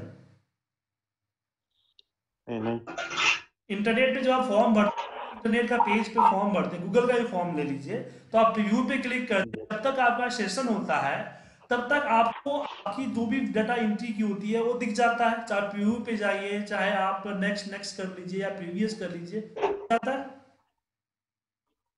हम्म। जैसे मान लीजिए ना कि ये हम ये- अपना यूट्यूब पे ही वीडियो अपलोड करते हैं। करते हैं ना सर? जी। तो वीडियो अपलोड करते समय हम नेक्स्ट नेक्स्ट करते हैं तो मुझे दिख जाता है। तो यही चीज़ इसका भी होता है जो आगे चल के जब आप यूज़र फॉर्म वगैरह बनाओगे पे भी तो आपको दिखना होगा ना सर कि आपने फॉर्म फिल कर दिया, फिर नेक्स्ट करेगा, फिर प्रीव्यू करके देख लेगा कि मैं सारे फॉर्म सही भरे हैं ना। सबमिट करेगा या फिर एडिट पे क्लिक करेगा, फिर उसको वापस एडिट मोड में डालना होगा। तो जब तक वो सेंड पे क्लिक नहीं गया तब तक वो आपके वर्कबुक में स्टोर नहीं होगा। तो जब तक यूज़र फॉर्म ओपन है, तब तक वो सारी इंफॉर्मेशन हमें कहीं ना कहीं स्टोर करनी होगी। तो वहाँ पे ग्लोबल वेरिएबल इस्तेमाल होगा कि जब वो प्रीव्यू पे क्लिक करेगा तो पूरी की पूरी ग्लोबल वेरिएबल्स को वापस, जैसे जैसे टेक्स्ट बॉक्स पे क्लिक किया तो टेक्स्ट बॉक्स ग्लोबल वेरिएबल को दे देगा, फिर प्रीव्यू पे क्लिक किया तो प्रीव्यू से ग्लोबल वेरिएबल वापस प्रीव्यू को दे देगा। और जब वो एडिट पे क्लिक करेगा तो फिर टेक्स्ट बॉक्स को फिर ग्लोबल वेरिएबल उसको वापस कर देगा। तो सर जब हम फॉर्म क्रिएट करते हैं तो इसका मतलब ये है कि जैसे मान लो हमने मल्टीपल मैक्रो बनाए हैं उसमें तो जब हमने पहला नेक्स्ट नेक्स्ट किया तो पहला हमारा मैक्रो हुआ रन हाँ। ठीक है? हाँ। फिर दूसरा जब हमने नेक्स्ट नेक्स्ट किया तो सेकंड हमारा मैक्रो हुआ रन राइट ओके फाइन ठीक है ना? तो टेम्परली रोके होल्ड करने के लिए यूज़ कर लेते हैं। जब तक फॉर्म एक्टिव है तब तक आपके डेटा सेव है। जैसे आपने फॉर्म क्लोज किया आपका डेटा क्लीन हो गया फिर से दोबारा स्टोर करेगा। ग्लोबल समझ में आ गया? हाँ सर।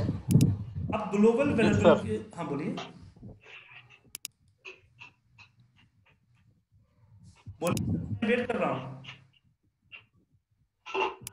हेलो हाँ बोलिए ना सर।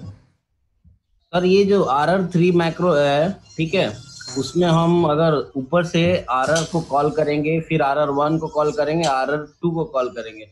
उसके बाद मैसेज बॉक्स पी रहेगा then it will work right work करना चाहिए ट्राई कीजिएगा। कभी ऐसा तो कभी किया नहीं मैंने लेकिन आप ट्राई करके देखिए। I think it should work because ये होगा उसके बाद फिर one two then again message में अगर आप रखते हैं देखिए सीक्वेंस में रखते हैं कि आप ऐसे कर दिए कि आप यहाँ पे पी यहाँ नीचे आर रन करेंगे यहाँ पे रन करेंगे तो गड़बड़ होगा गलत होगा क्योंकि ये कोड चल चुका है।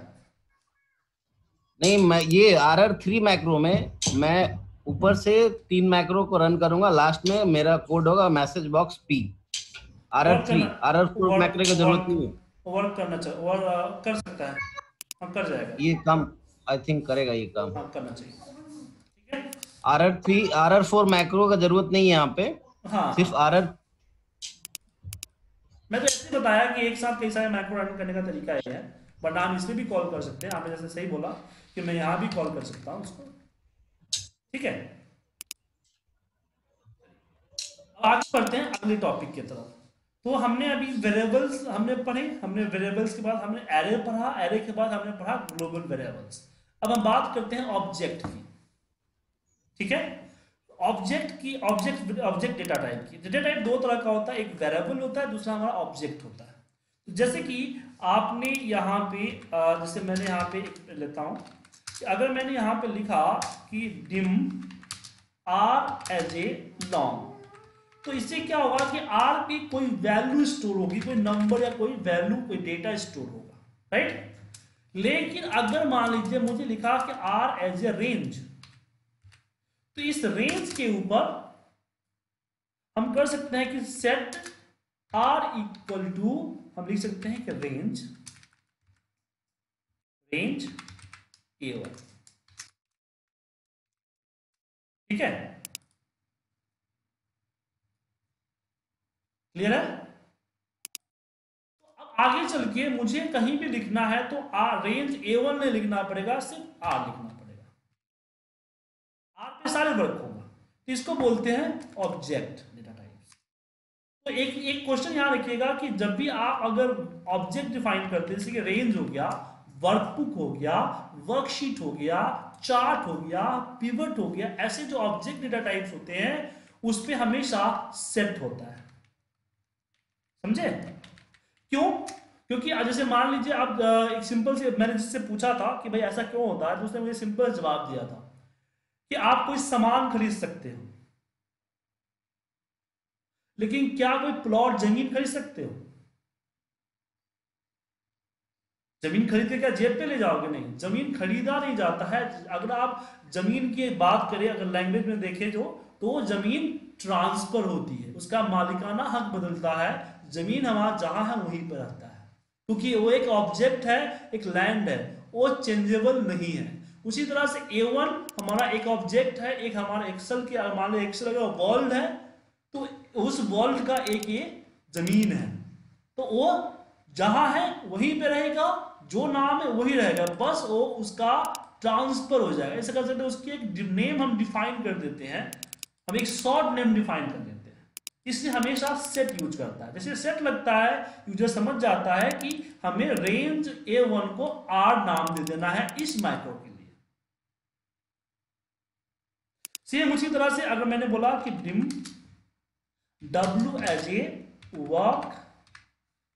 workbook और हमने यहाँ पे कर दिया कि set W equal to active workbook इस तरह से dim S as a S S as a worksheet work worksheet और सेट एस इक्वल टू अब यहाँ पे मैं कर देता हूँ सीट्स और सीट में मान लीजिए हमने बोल दिया फाइव समझे?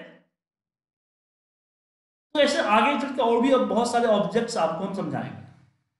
तो इसका यूज़ क्या है? अब आप सोचते होंगे इसका यूज़ क्या है राइट अब जैसे कि मैं एक छोटा सा डेटा एक सीट लेता हूँ, उसमें एक बड़ा सा डेटा लेता हूँ।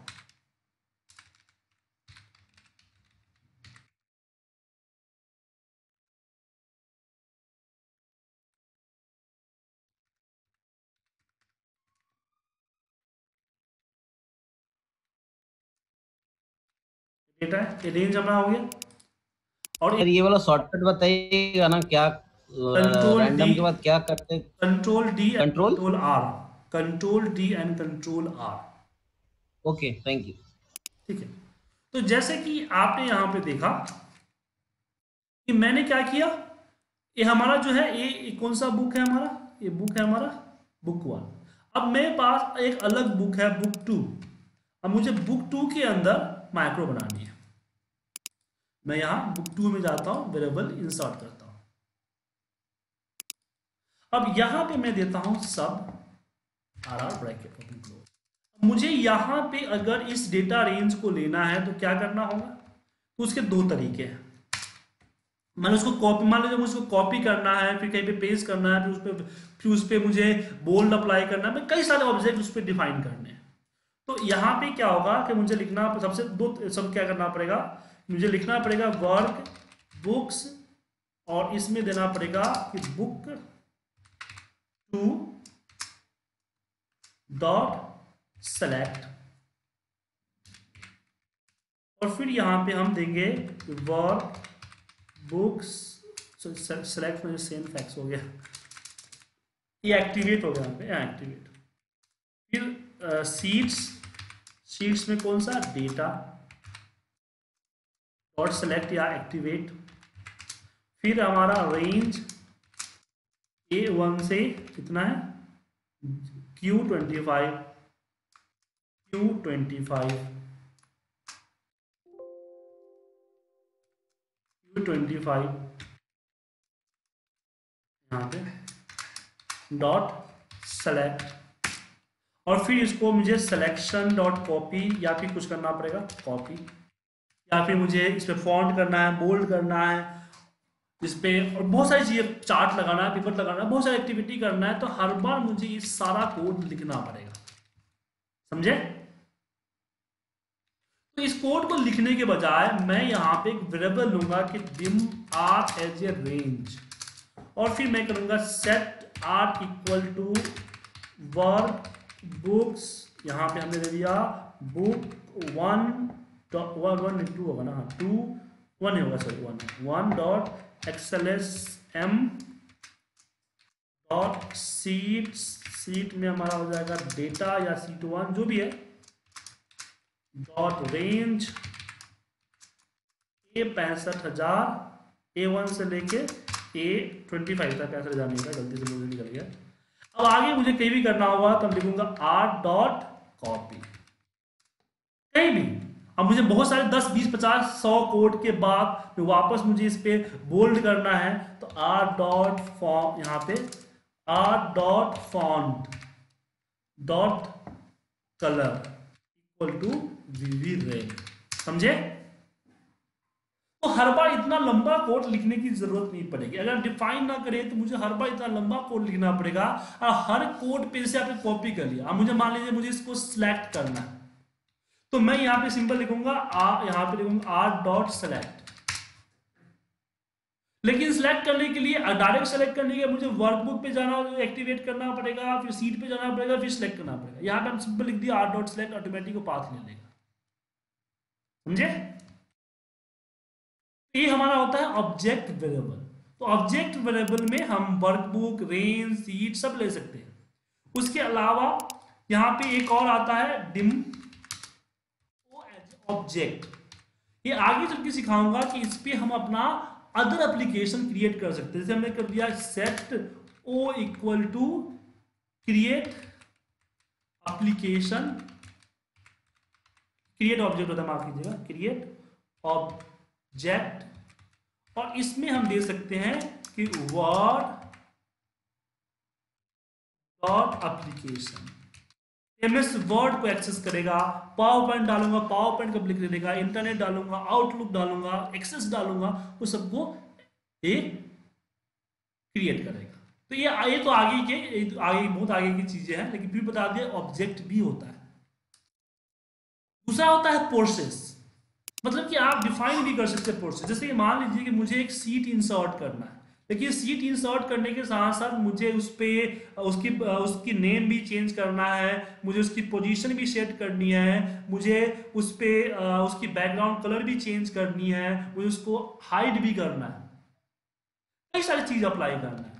तो आप यहाँ पे कर सकते हैं कि सेट मैंने बोल दिया K equal to sheets dot add और फिर हम यहाँ पे लिखते हैं कि विथ के और name equal to data name equal to data dot यहाँ पे हमने move dot tab dot colour colour equal to VB red last number दीजिए एंड विथ आप फोर्सेस भी डिफाइन कर सकते हैं क्लियर है? तो ये अभी एक बार और बंद होके होगा एक बार वापस रिज्वाइन कर लीजिएगा। हेलो सर जी। सर ये जो आप विथ के साथ किए ना ये एक्चुअली काम क्या करते हैं हम लोग?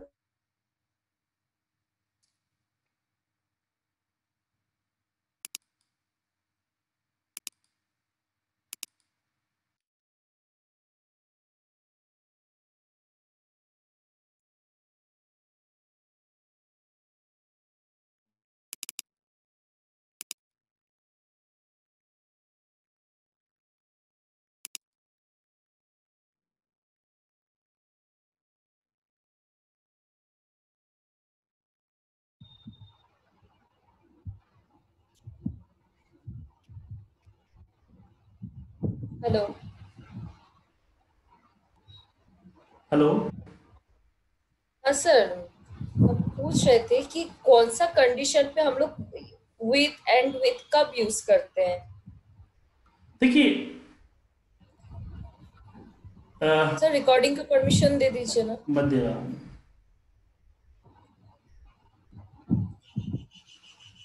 क्या होता है? कि जब मुझे एक ही ऑब्जेक्ट पे कई सारे काम करने हैं तो वहाँ हम विथ कमांड लगाते हैं, ताकि हमें बार बार ऑब्जेक्ट देने की ज़रूरत ना पड़े।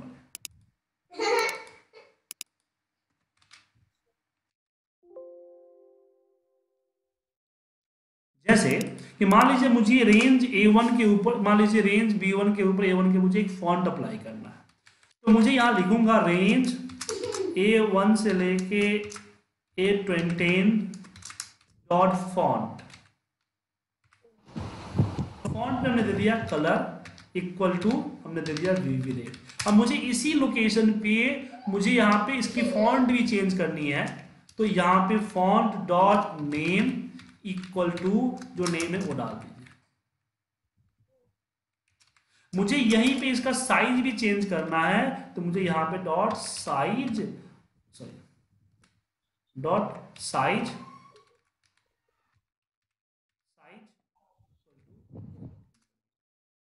जिसको अंडर करना है तो मुझे यहाँ पे लिखना पड़ेगा dot underline equal to true तो आप देख रहे हैं कि मुझे ये ऑब्जेक्ट बार बार अप्लाई करना पड़ा है। अभी तो चलिए छोटा ऑब्जेक्ट है लेकिन हो सकता है अभी जो इससे पहले हमने आपको एग्जांपल दिया कि बड़ा ऑब्जेक्ट इतना बड़ा भी हो सकता है। ये भी हो सकता है। ठीक है? बहुत ज़्यादा टाइप करना पड़ेगा। तो यहाँ पे आप विथ कमांड यूज़ करें। विथ और फिर आप फॉन्ट को फॉन्ट दे दे उसके बाद यहाँ से बस आपको बस कलर देना है। अच्छा। साइज़ देना है। समझ कर लेना। अभी नहीं। यहाँ पे देखिए प्लीज़ म्यूट कर लीजिए शोर आ रहा है पीछे से। फॉन्ट देना है। और फिर यहाँ पे आपने कर दिया एंड विथ ठीक है? हाँ सर समझ गए। समझ गए? कॉन्सेप्ट समझ में आया। यहाँ पे मामा विथ का यूज़ होता है। तो ऑब्जेक्ट आपने समझा कि आप ऑब्जेक्ट भी दे सकते हो और किसी प्रोसेस को भी डिफाइन कर सकते हो। विदाउट इसमें? नहीं सर ओके तो क्लास आगे कंटिन्यू करनी है क्योंकि यहाँ पे एक एक सेक्शन हाँ, खत्म होता है। और नहीं सर करना है। सर ऊपर से तो नहीं निकल रहा है ना? नहीं। नहीं नहीं सर। कंटिन्यू करेंगे चलिए। अब अगली एग्जांपल इसमें बढ़ते हैं। अब हम बात करते हैं कंडीशंस की। ठीक है? डेटा टाइप हमारा खत्म हो गया। हम बात करते हैं कंडीशंस की। तो हम यहाँ पे इफ़ कंडीशंस के बारे में जानेंगे आप। चलिए कोई डेटा बनाते हैं छोटा सा।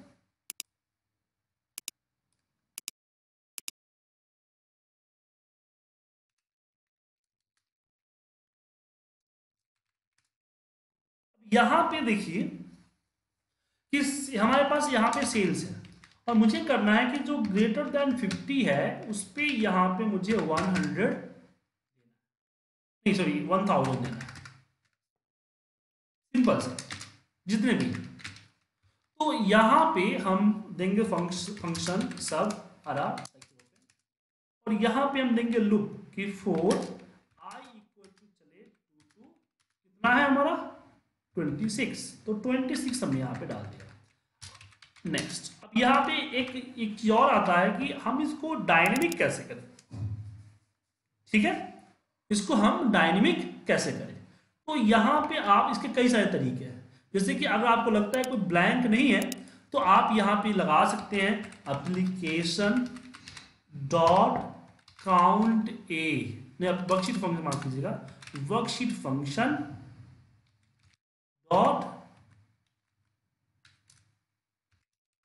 count A और यहाँ पे दे दीजिए रेंज ए से लेके ए तक। ये भी दे सकते हैं। तो काउंट ए एक्सेल का फ़ंक्शन है। काउंट ए क्या करता है? बताता है कि आपके एक्सेल में कितने टोटल सेल में डेटा फिल किया गया लेकिन इससे प्रॉब्लम होगी, अगर ब्लैंक हुआ तो प्रॉब्लम हो सकती है। तो उस केस में सबसे अच्छा उपाय है जो मैं सबसे ज़्यादा मैं यूज़ करता हूँ, वो लिखूँगा कि रेंज ए पैंसठ हज़ार dot end XLS up dot row सबसे अच्छा है जो हम यूज़ करते हैं। अब मुझे यहाँ पे देना है कि कंडीशंस कि भी ग्रेटर देन 50 है नहीं तो मुझे सिंगल कंडीशन और सिंगल रिज़ल्ट है तो सिंपल सा मैं यूज़ करूँगा कि इफ़ रेंज के साथ आई कंबाइन कंबाइन होगा A B A one two three के लिए। Dot value is greater than 50 then range B के साथ आई को कंबाइन हो, और यहाँ पे dot dot value is equal to five hundred one thousand था वन थाउज़ेंड ठीक है सर तो यहाँ क्या है कि मेरे पास सिर्फ़ सिंगल वन और सिंगल सिंगल रिज़ल्ट और सिंगल कंडीशन है। एल्स भी नहीं है। तो मैं इसको एक लाइन में ही दे दूँगा। मुझे एंड इफ़ करने का झंझट नहीं है। यहाँ इसको रन कीजिए और देखिए ये नीचे तक आपके पास आ गया। ओके लेकिन अगर मेरे पास डबल मैंने कि सिंगल रिज़ल्ट लेकिन डबल कंडीशंस हुए। सॉरी डबल रिज़ल्ट हुए। इसलिए मुझे क्या करना है कि थाउज़ेंड भी देना है और साथ में उस सेल्स को कलर भी करना है। रवि किस बात ही फ़ोन क्यों कर रहा है? हाँ रवि जी। हाँ जी गुड हाँ।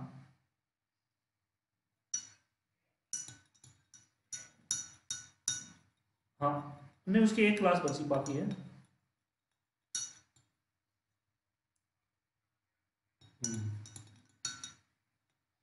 ठीक सुनिए ना मैं अभी मैं अभी क्लास ले रहा हूँ बीवीए की। मैं क्लास पर कॉल करूँ आपको? अभी रवि किशोर जी आए हुए थे? आउट कर ओके सॉरी तो यहाँ पे आ, मुझे क्या करना है कि कलर भी करना है। तो उस केस में हम यहाँ क्या करेंगे? यहाँ पे हम फिर इसको तोड़ेंगे नीचे लाएँगे। और फिर यहाँ पे लिखेंगे रेंज एक के साथ एक के साथ आई आ जाए और यहाँ पे डॉट वैल्यू नहीं होगा dot interior dot colour equal to VB red green blue Shyam या फिर आरजीबी कलर दे सकते हैं ओके? और फिर यहाँ पे आपको एंड इफ़ लगाना तो अब मैं इसको रन करूँगा तो आप देखेंगे यहाँ पे कि कलर भी कर दिया। लेकिन मुझे यहाँ एल्स भी देना है कि भाई जिनके 50 से कम है, उनको मैं यहाँ पे 50 देना चाहता तो फिर आपको यहाँ पे एंड इफ़ के पहले एल्स लगाना पड़ेगा। इसको बोलते हैं इफ़ एल्स और फिर यहाँ पे आप अपना रिज़ल्ट डाल दीजिए। फिफ्टी तो बेसिकली इफ़ का यही मेन साइड टेक्स्ट होता है इफ़ एक्सप्रेशन मतलब कि conditions then results else false part ये आपका में ट्रू पार्ट हो गया, ये आपका फॉल्स पार्ट हो गया. क्लियर है? कोई डाउट इसमें आप लोगों को अब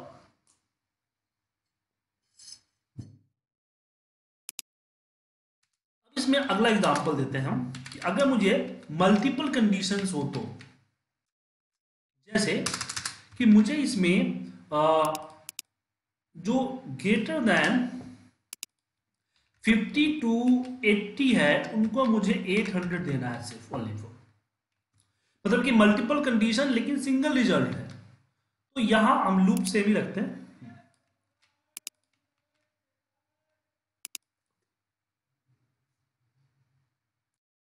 यहाँ पे इसको एक बार मैं इसको हटा देता हूँ। इसको भी हटा देता हूँ एल्स नहीं चाहिए मुझे। यहाँ पे लगाना पड़ेगा कि ग्रेटर देन इक्वल टू 50 और यहाँ पे एंड रेंज ई के साथ कंबाइन होगा।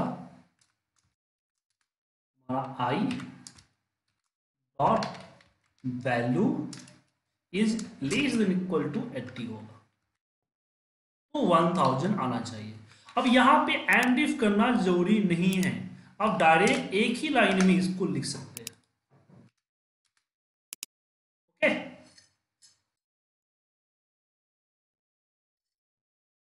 यहाँ पे हमने मल्टीपल कंडीशंस लगाए।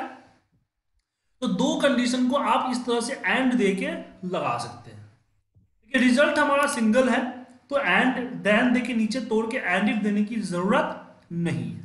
लेकिन अगर मेरे पास कंडीशन मुझे कलर भी करना है तो उस केस में फिर आपको नीचे तोड़ना होगा और फिर इसमें आपको एल्स देना पड़ेगा। तो एल्स नहीं मतलब कलर है कलर देना पड़ेगा। और फिर आपको यहाँ पे एंड इफ़ देना पड़ेगा। और एल्स है तो फिर आपको एल्स भी देना पड़ेगा। लेकिन ये तो दो कंडीशन है, लेकिन मेरे पास कई सारे कंडीशन हो तो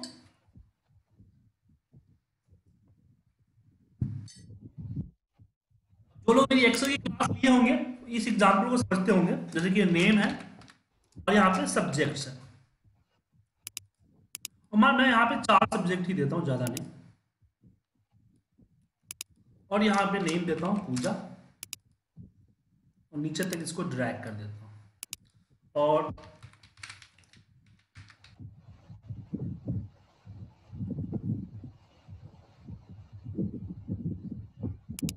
वैल्यू डाल दिया। और यहाँ पे इसको हम दे देते रिज़ल्ट अब मुझे यहाँ पे पास और फेल देना है। मुझे पास और फेल देना है। तो इसमें कंडीशन क्या है कि जितने भी सब्जेक्ट है सब में तीस से ज़्यादा होना चाहिए। चलिए करते हैं। अलग प्रोग्राम बनाते हैं। Subject, if underscore one, अब यहाँ पे देते हैं कंडीशन लुक का कि फोर यहाँ वेरिएबल भी दे सकते हैं आप। देखिए, अभी वेरिएबल भी दे सकते हैं कि subject one comma subject two comma subject three comma subject four भी एरे देना चाहे तो एरे भी दे सकते हैं। हाँ सर मैं वही पूछने वाली थी कि इस, इसमें S one S two S three four की जगह तो एरे डाल सकते हैं एस वन टू फोर आप इस तरह से भी कर सकते हैं कि डिम डिम में आप यहाँ पे सब्जेक्ट एस और यहाँ पे दे दीजिए। ठीक है? अब यहाँ पे मुझे कि एस वन डॉट रेंज ये लूप में डालना पड़ेगा, माफ़ कीजिएगा लूप डाल पहले डालेंगे देंगे। फोर आई इक्वल टू चले टू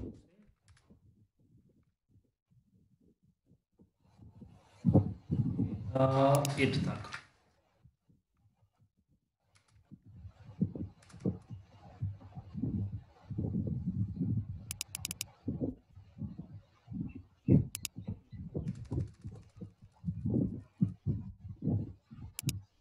और नेक्स्ट यहाँ देंगे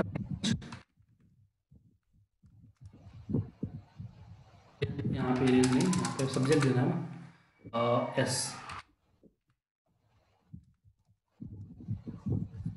subject one equal to range range में हम देंगे. ए नहीं बी प्लीज़ म्यूट कर लीजिए प्लीज़ डॉट इसी को कॉपी करते हैं पेस्ट पेस्ट पेस्ट यहाँ पे हमारा टू हो जाएगा, यहाँ पे हमारा थ्री हो जाएगा, यहाँ पे हमारा फोर हो जाएगा। और बी के जगह पे यहाँ हमारा सी हो जाएगा, यहाँ हमारा डी हो जाएगा, यहाँ हमारा ई e हो जाएगा। यहाँ कंडीशन होगा कि इफ़ एस वन इसका S one is greater than equal to 30 s2 is greater than equal to 30 s3 is greater than equal to 30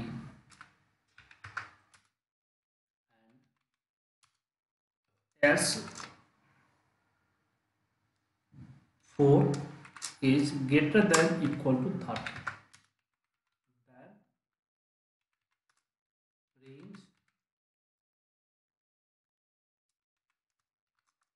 f.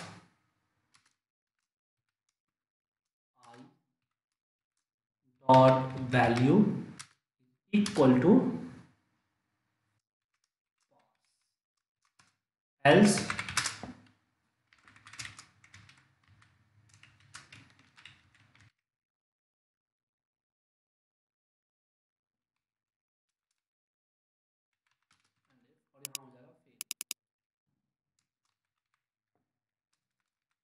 तो मल्टीपल कंडीशंस में आप इस तरह से कई सारे तीन सौ पैंसठ से ऊपर एंड यहाँ पे लगा सकते हैं।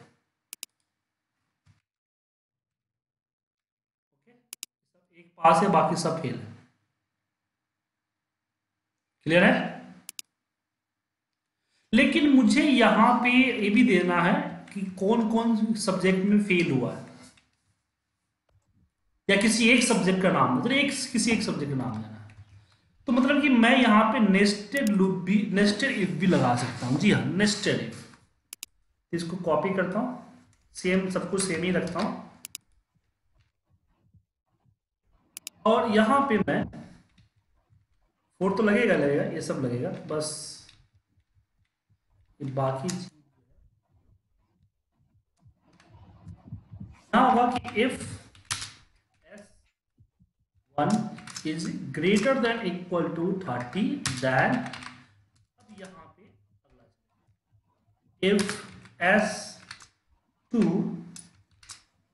is greater than equal to thirty if S three is greater than equal to thirty मैं यहाँ पे इस तरह के ए दे रहा हूँ मैंने मतलब कि आगे बढ़ा दे रहा हूँ। तो ज़रूरी नहीं कि ऐसा ही बढ़ा आप अपने हिसाब से एक ही लाइन में लिख सकते हैं। ये तो मैं देता हूँ ताकि समझने में आपको आसानी होगा कि कौन सा लूप किसके अंदर में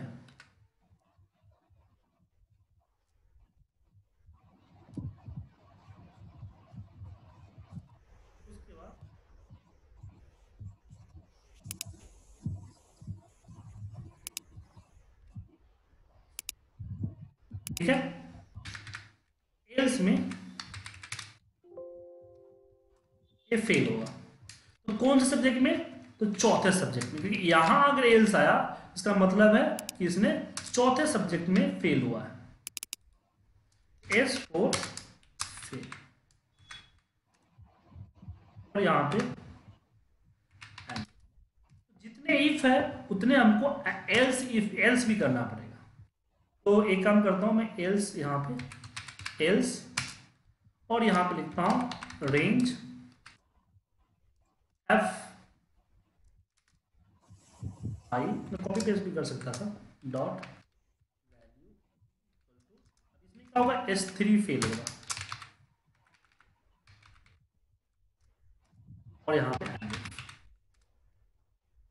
ये जो इफ़ एंड इफ़ हुआ यहाँ पे हम देखते हैं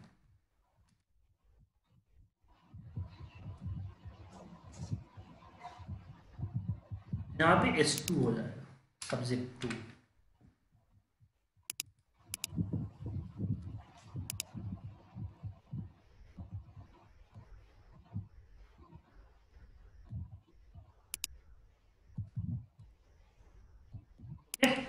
तो ये देखिए, ये पहला इफ़ है, पहले इफ़ के अंदर में पूरा पार्ट है।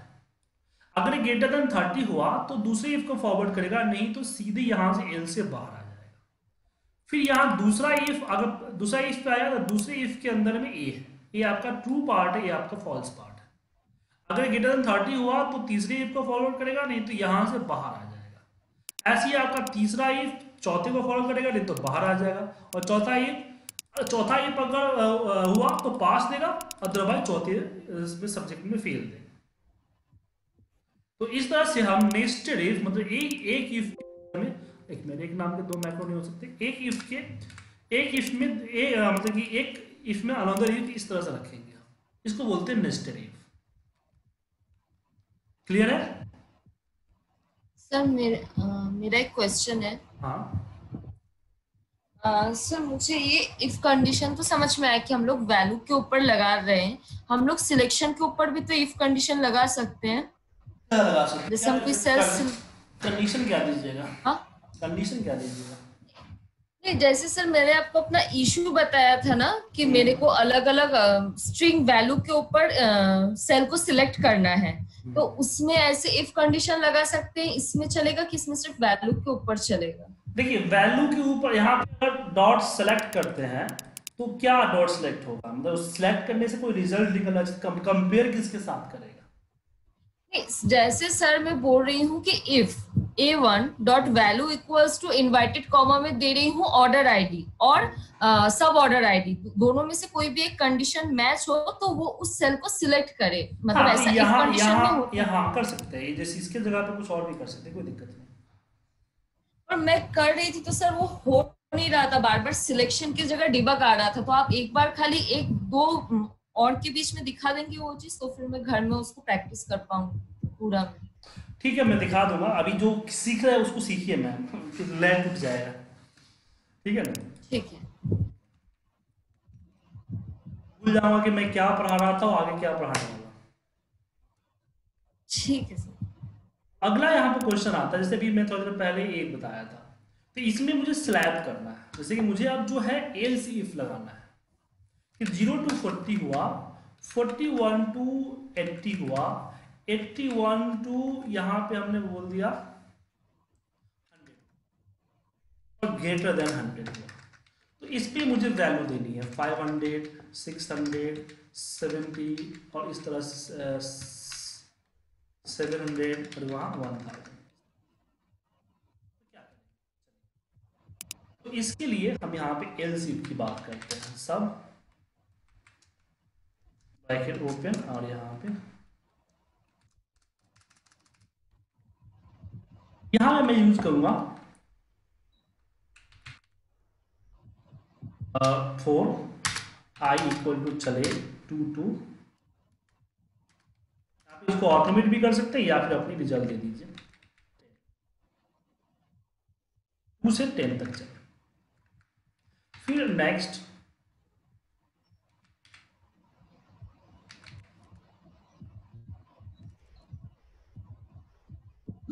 यहाँ पे मुझे कंडीशन देना है कि इफ़ रेंज ए के साथ हमने यहाँ पे आई को कंबाइन किया। Dot value is less than equal to forty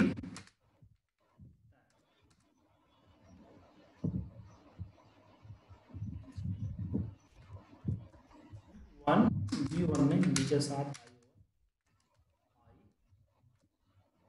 dot value is equal to यहाँ पे मुझे अगली कंडीशन के लिए देना होगा एल्स और यहाँ देना होगा एल्स में इफ़ और इफ़ मुझे यहाँ ये जो कंडीशन है, इस कंडीशंस को कॉपी करता हूँ।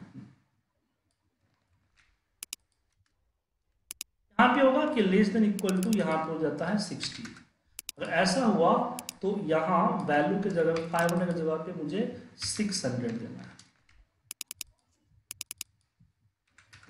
और इसी तरह से आगे सारे चीज़ को कंबाइन हम करते चले जाएँगे। अगर ये सेवन हंड्रेड होगा, अगर ये एट्टी से छोटा होगा।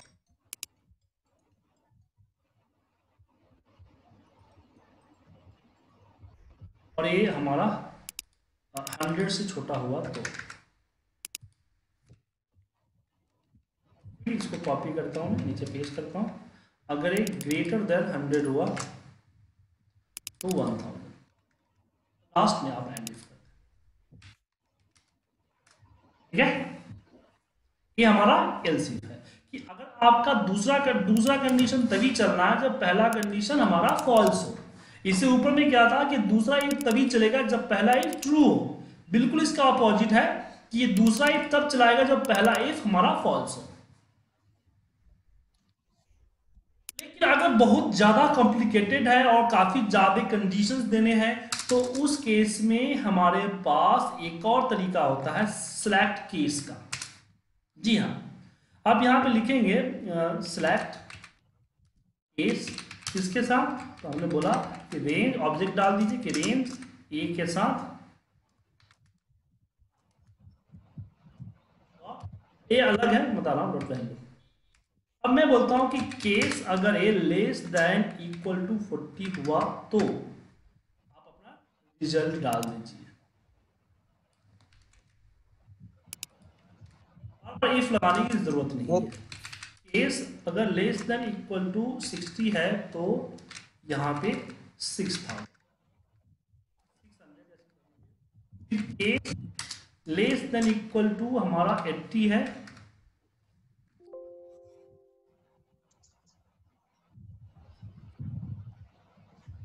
फिर यहाँ पे case is less than equal to hundred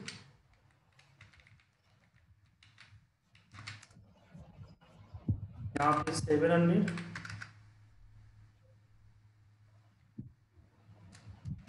one thousand यहाँ पे क्रिएट ठीक है? और लास्ट में एंड सेलेक्ट तो एंड कमांड भी लगा सकते हैं। कुछ बोल रहे थे आप लोग? हाँ सर ये केस क्यों लिखना ज़रूरी है? अगर हम सिलेक्ट रेंज लिखा तो क्या होगा? नहीं नहीं केस लिखना पड़ेगा। ये लिखने का स्टाइल है। जैसे एल सिफ आपने लगाया आपने नेक्स्ट ओके ऐसे रिज़र्व वर्ड ठीक है? ओके ओके होता है कि ये Okay, जो ऑब्जेक्ट ये जो ऑब्जेक्ट है इसकी इसकी वैल्यू को पिक कर लेता है केस पे। केस भी एक तरह से स्टोर वेरिएबल होता है। और आप जहाँ जहाँ आपको उसकी कंडीशन मैच करनी वहाँ पे मैच करने इसमें एक चीज़ और भी होता है जैसे आप बिटवीन करना चाहते हो कि ज़ीरो से ज़ीरो से लेके फोर्टी तक। तो यहाँ पे ज़ीरो टू फोर्टी कर सकते हैं इस तरह से। फिर टू लगाने की ज़रूरत ओके ये इज़ लगाने की ठीक है? ऐसे मान लीजिए कि आपको कई सारे वेरिएबल देने हैं आपको जैसे कि फिफ्टी हो सिक्सटी हो एट्टी हो नाइन्टी हो इस तरह से। तो इस तरह से आप कॉमा कॉमा भी दे सकते हैं। तो आपको और लगाने की जैसे कि आपको इससे पहले बताया था एंड लगाना होता है। तो अगर दो में से कोई एक चाहिए तो इसके लिए आप यहाँ पे और दे सकते हैं। राइट तो यहाँ और Okay. आप इसको इस तरह से लिख सकते हैं।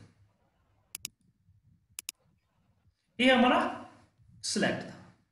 तो कंडीशन ये सिलेक्ट सिलेक्ट जो है क्या? सॉरी सर ये सिलेक्ट केस जो है ये ऑब्जेक्ट में आएगा ना? हाँ।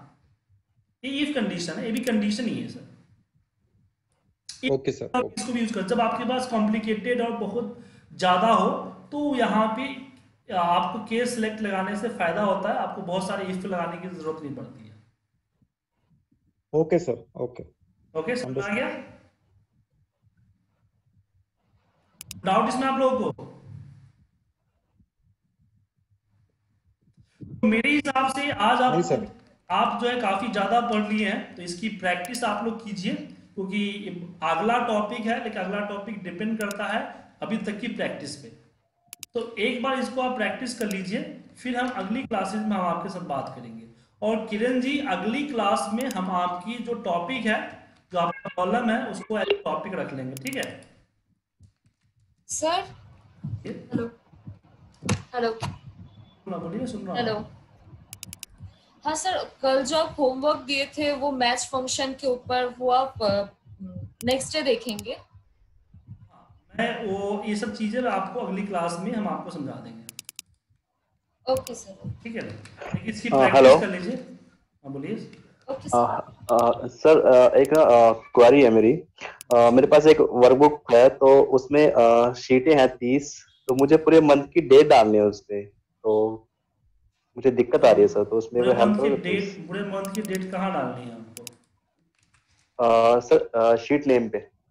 मतलब जैसे शीट शीट वन है तो डेट ले ले शीट टू है तो दो और शीट थ्री है तो तीन। मतलब डेट ले ले पूरी डेट इसमें कौन सी बड़ी बात है? क्या लिखेंगे स्वाद जी इसके लिए?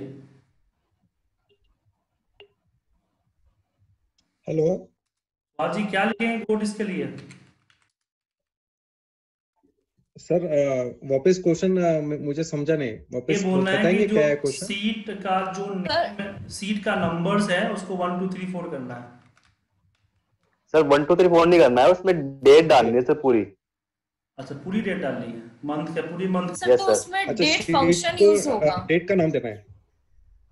नहीं नहीं देखिए यहाँ पे क्या करना है, बताता हूँ आपको क्या होगा। कि सबसे पहले तो आप यहाँ पे लूप लगाएँगे फोर सीट इंसर्टेड है कि नया सीट इंसर्ट भी करना है? सर नहीं नहीं शीट इंसर्टेड है ऑलरेडी तो तीस शीट है तो उसमें डेट डालनी है सर पूरे मंथ की। इसके लिए क्या करना पड़ेगा? आपको यहाँ पे वन टू डॉट काउंट करना पड़ेगा। ठीक है? ठीक है सर यस उसके बाद यहाँ पे आप लिखेंगे कि सीट्स नेम आपके पास एक वेरिएबल यहाँ पे D T dim dim D T as date एक डेट स्टार्टिंग का जो डेट है वो स्टार्टिंग का डेट यहाँ पे आप एंट्री कर देंगे। ठीक है? जैसे एक जैन या एक अप्रैल इस तरह से। राइट सर यहाँ पे आप डालेंगे प्रॉब्लम यहाँ पर है कि स्लैश वगैरह सीट नेम में स्लैश नहीं लगता। अगर सीट नेम में जैसे मान लीजिए मैं स्लैश लगाता तो क्या लगता है? एक बार देख लेता हूँ मैं। सीट नेम में जैसे कि ज़ीरो वन नहीं स्लैश आपका नहीं ये जो है स्लैश नहीं आता है। तो फॉर्मेट से आपको सर एक्चुअली वो सर वो डॉट एक्सेप्ट करता है एक्चुअली डॉट एक्सेप्ट करता है लेकिन डॉट नहीं डालेंगे सर यहाँ पे फॉर्मेट जी। लगाएँगे। यहाँ पे D T plus I minus one comma D D D sorry ये D D slash M M M M slash Y Y या फिर कुछ और भी डाल सकते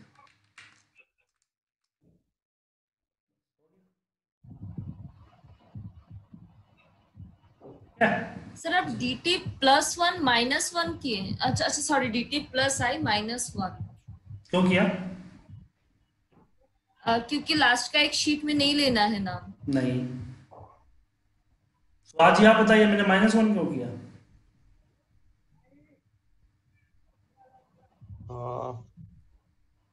ईयर को माइनस करने के लिए। नहीं नहीं नहीं बताता जैसे डेट हमारा क्या है एक सुनिए डेट एक अप्रैल है ना? अब एक हम्म, वन जुड़ेगा तो क्या हो जाएगा? एक अप्रैल दो अप्रैल हो जाएगा। तो दो अप्रैल से लेके एक दिन पहले चला जाएगा ना? करेक्ट तो हमने माइनस वन कर दिया यहाँ पे। माइनस वन ना करेंगे कब? जब यहाँ पे क्या होगा? एक अप्रैल नहीं यहाँ पे थर्टी थर्टी फ़र्स्ट मार्च होगा तो माइनस वन करने की ज़रूरत नहीं है। समझे? एक जुड़ेगा तो एक महीना तो ज़ीरो हो जाएगा। तो ये आपका एक अप्रैल हो जाएगा। दूसरे बार दो जुड़ेगा एक घटेगा तो एक एक तीन में एक घटेगा तो दो अप्रैल हो जाएगा। तो हर डेट में एक एक घटते चला जाएगा तो आपका एक से तीस तक आ जाएगा। करके देखना हो। Professor ma'am hundred percent proofread है। इसमें गलत होने सीट्स यहाँ पे सीट्स नहीं होगा माफ़ कीजिएगा यहाँ पे एक एरर आ रहा था। सीट्स में नहीं नहीं मैं ये नहीं बोल रही हूँ कि गलत है मैं बोल रही हूँ करके देखूँगी तो समझ में आएगा कि कैसे वर्क कर रहे हैं। सर कलर ट्राई करें एक बार कुछ शीटों पे।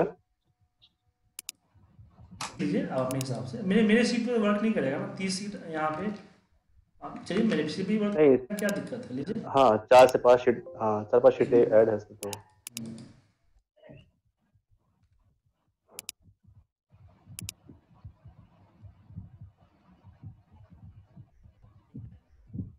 हाँ। एक, वो कैसे दो तीन चार पाँच। तो बस सीट डॉट काउंट दिया होगा ना जितने सीट होंगे उतने चलेगा। सर एक बार दोबारा करोगे एक्सप्लेन ये D T plus I minus one थोड़ा सा। क्या? देर इज़ सम कंफ्यूजन उस कंफ्यूजन क्या है? डीटी पे एक अप्रैल है अब यहाँ पे आई वन हो तो एक अप्रैल में एक जुड़ेगा तो दो अप्रैल हो जाएगा ना।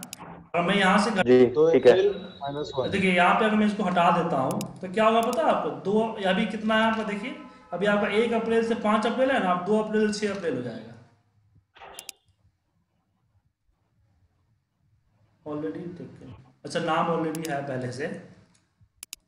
मैं कंबाइन हम्म, पहले से नाम जो उसका नहीं करता ना।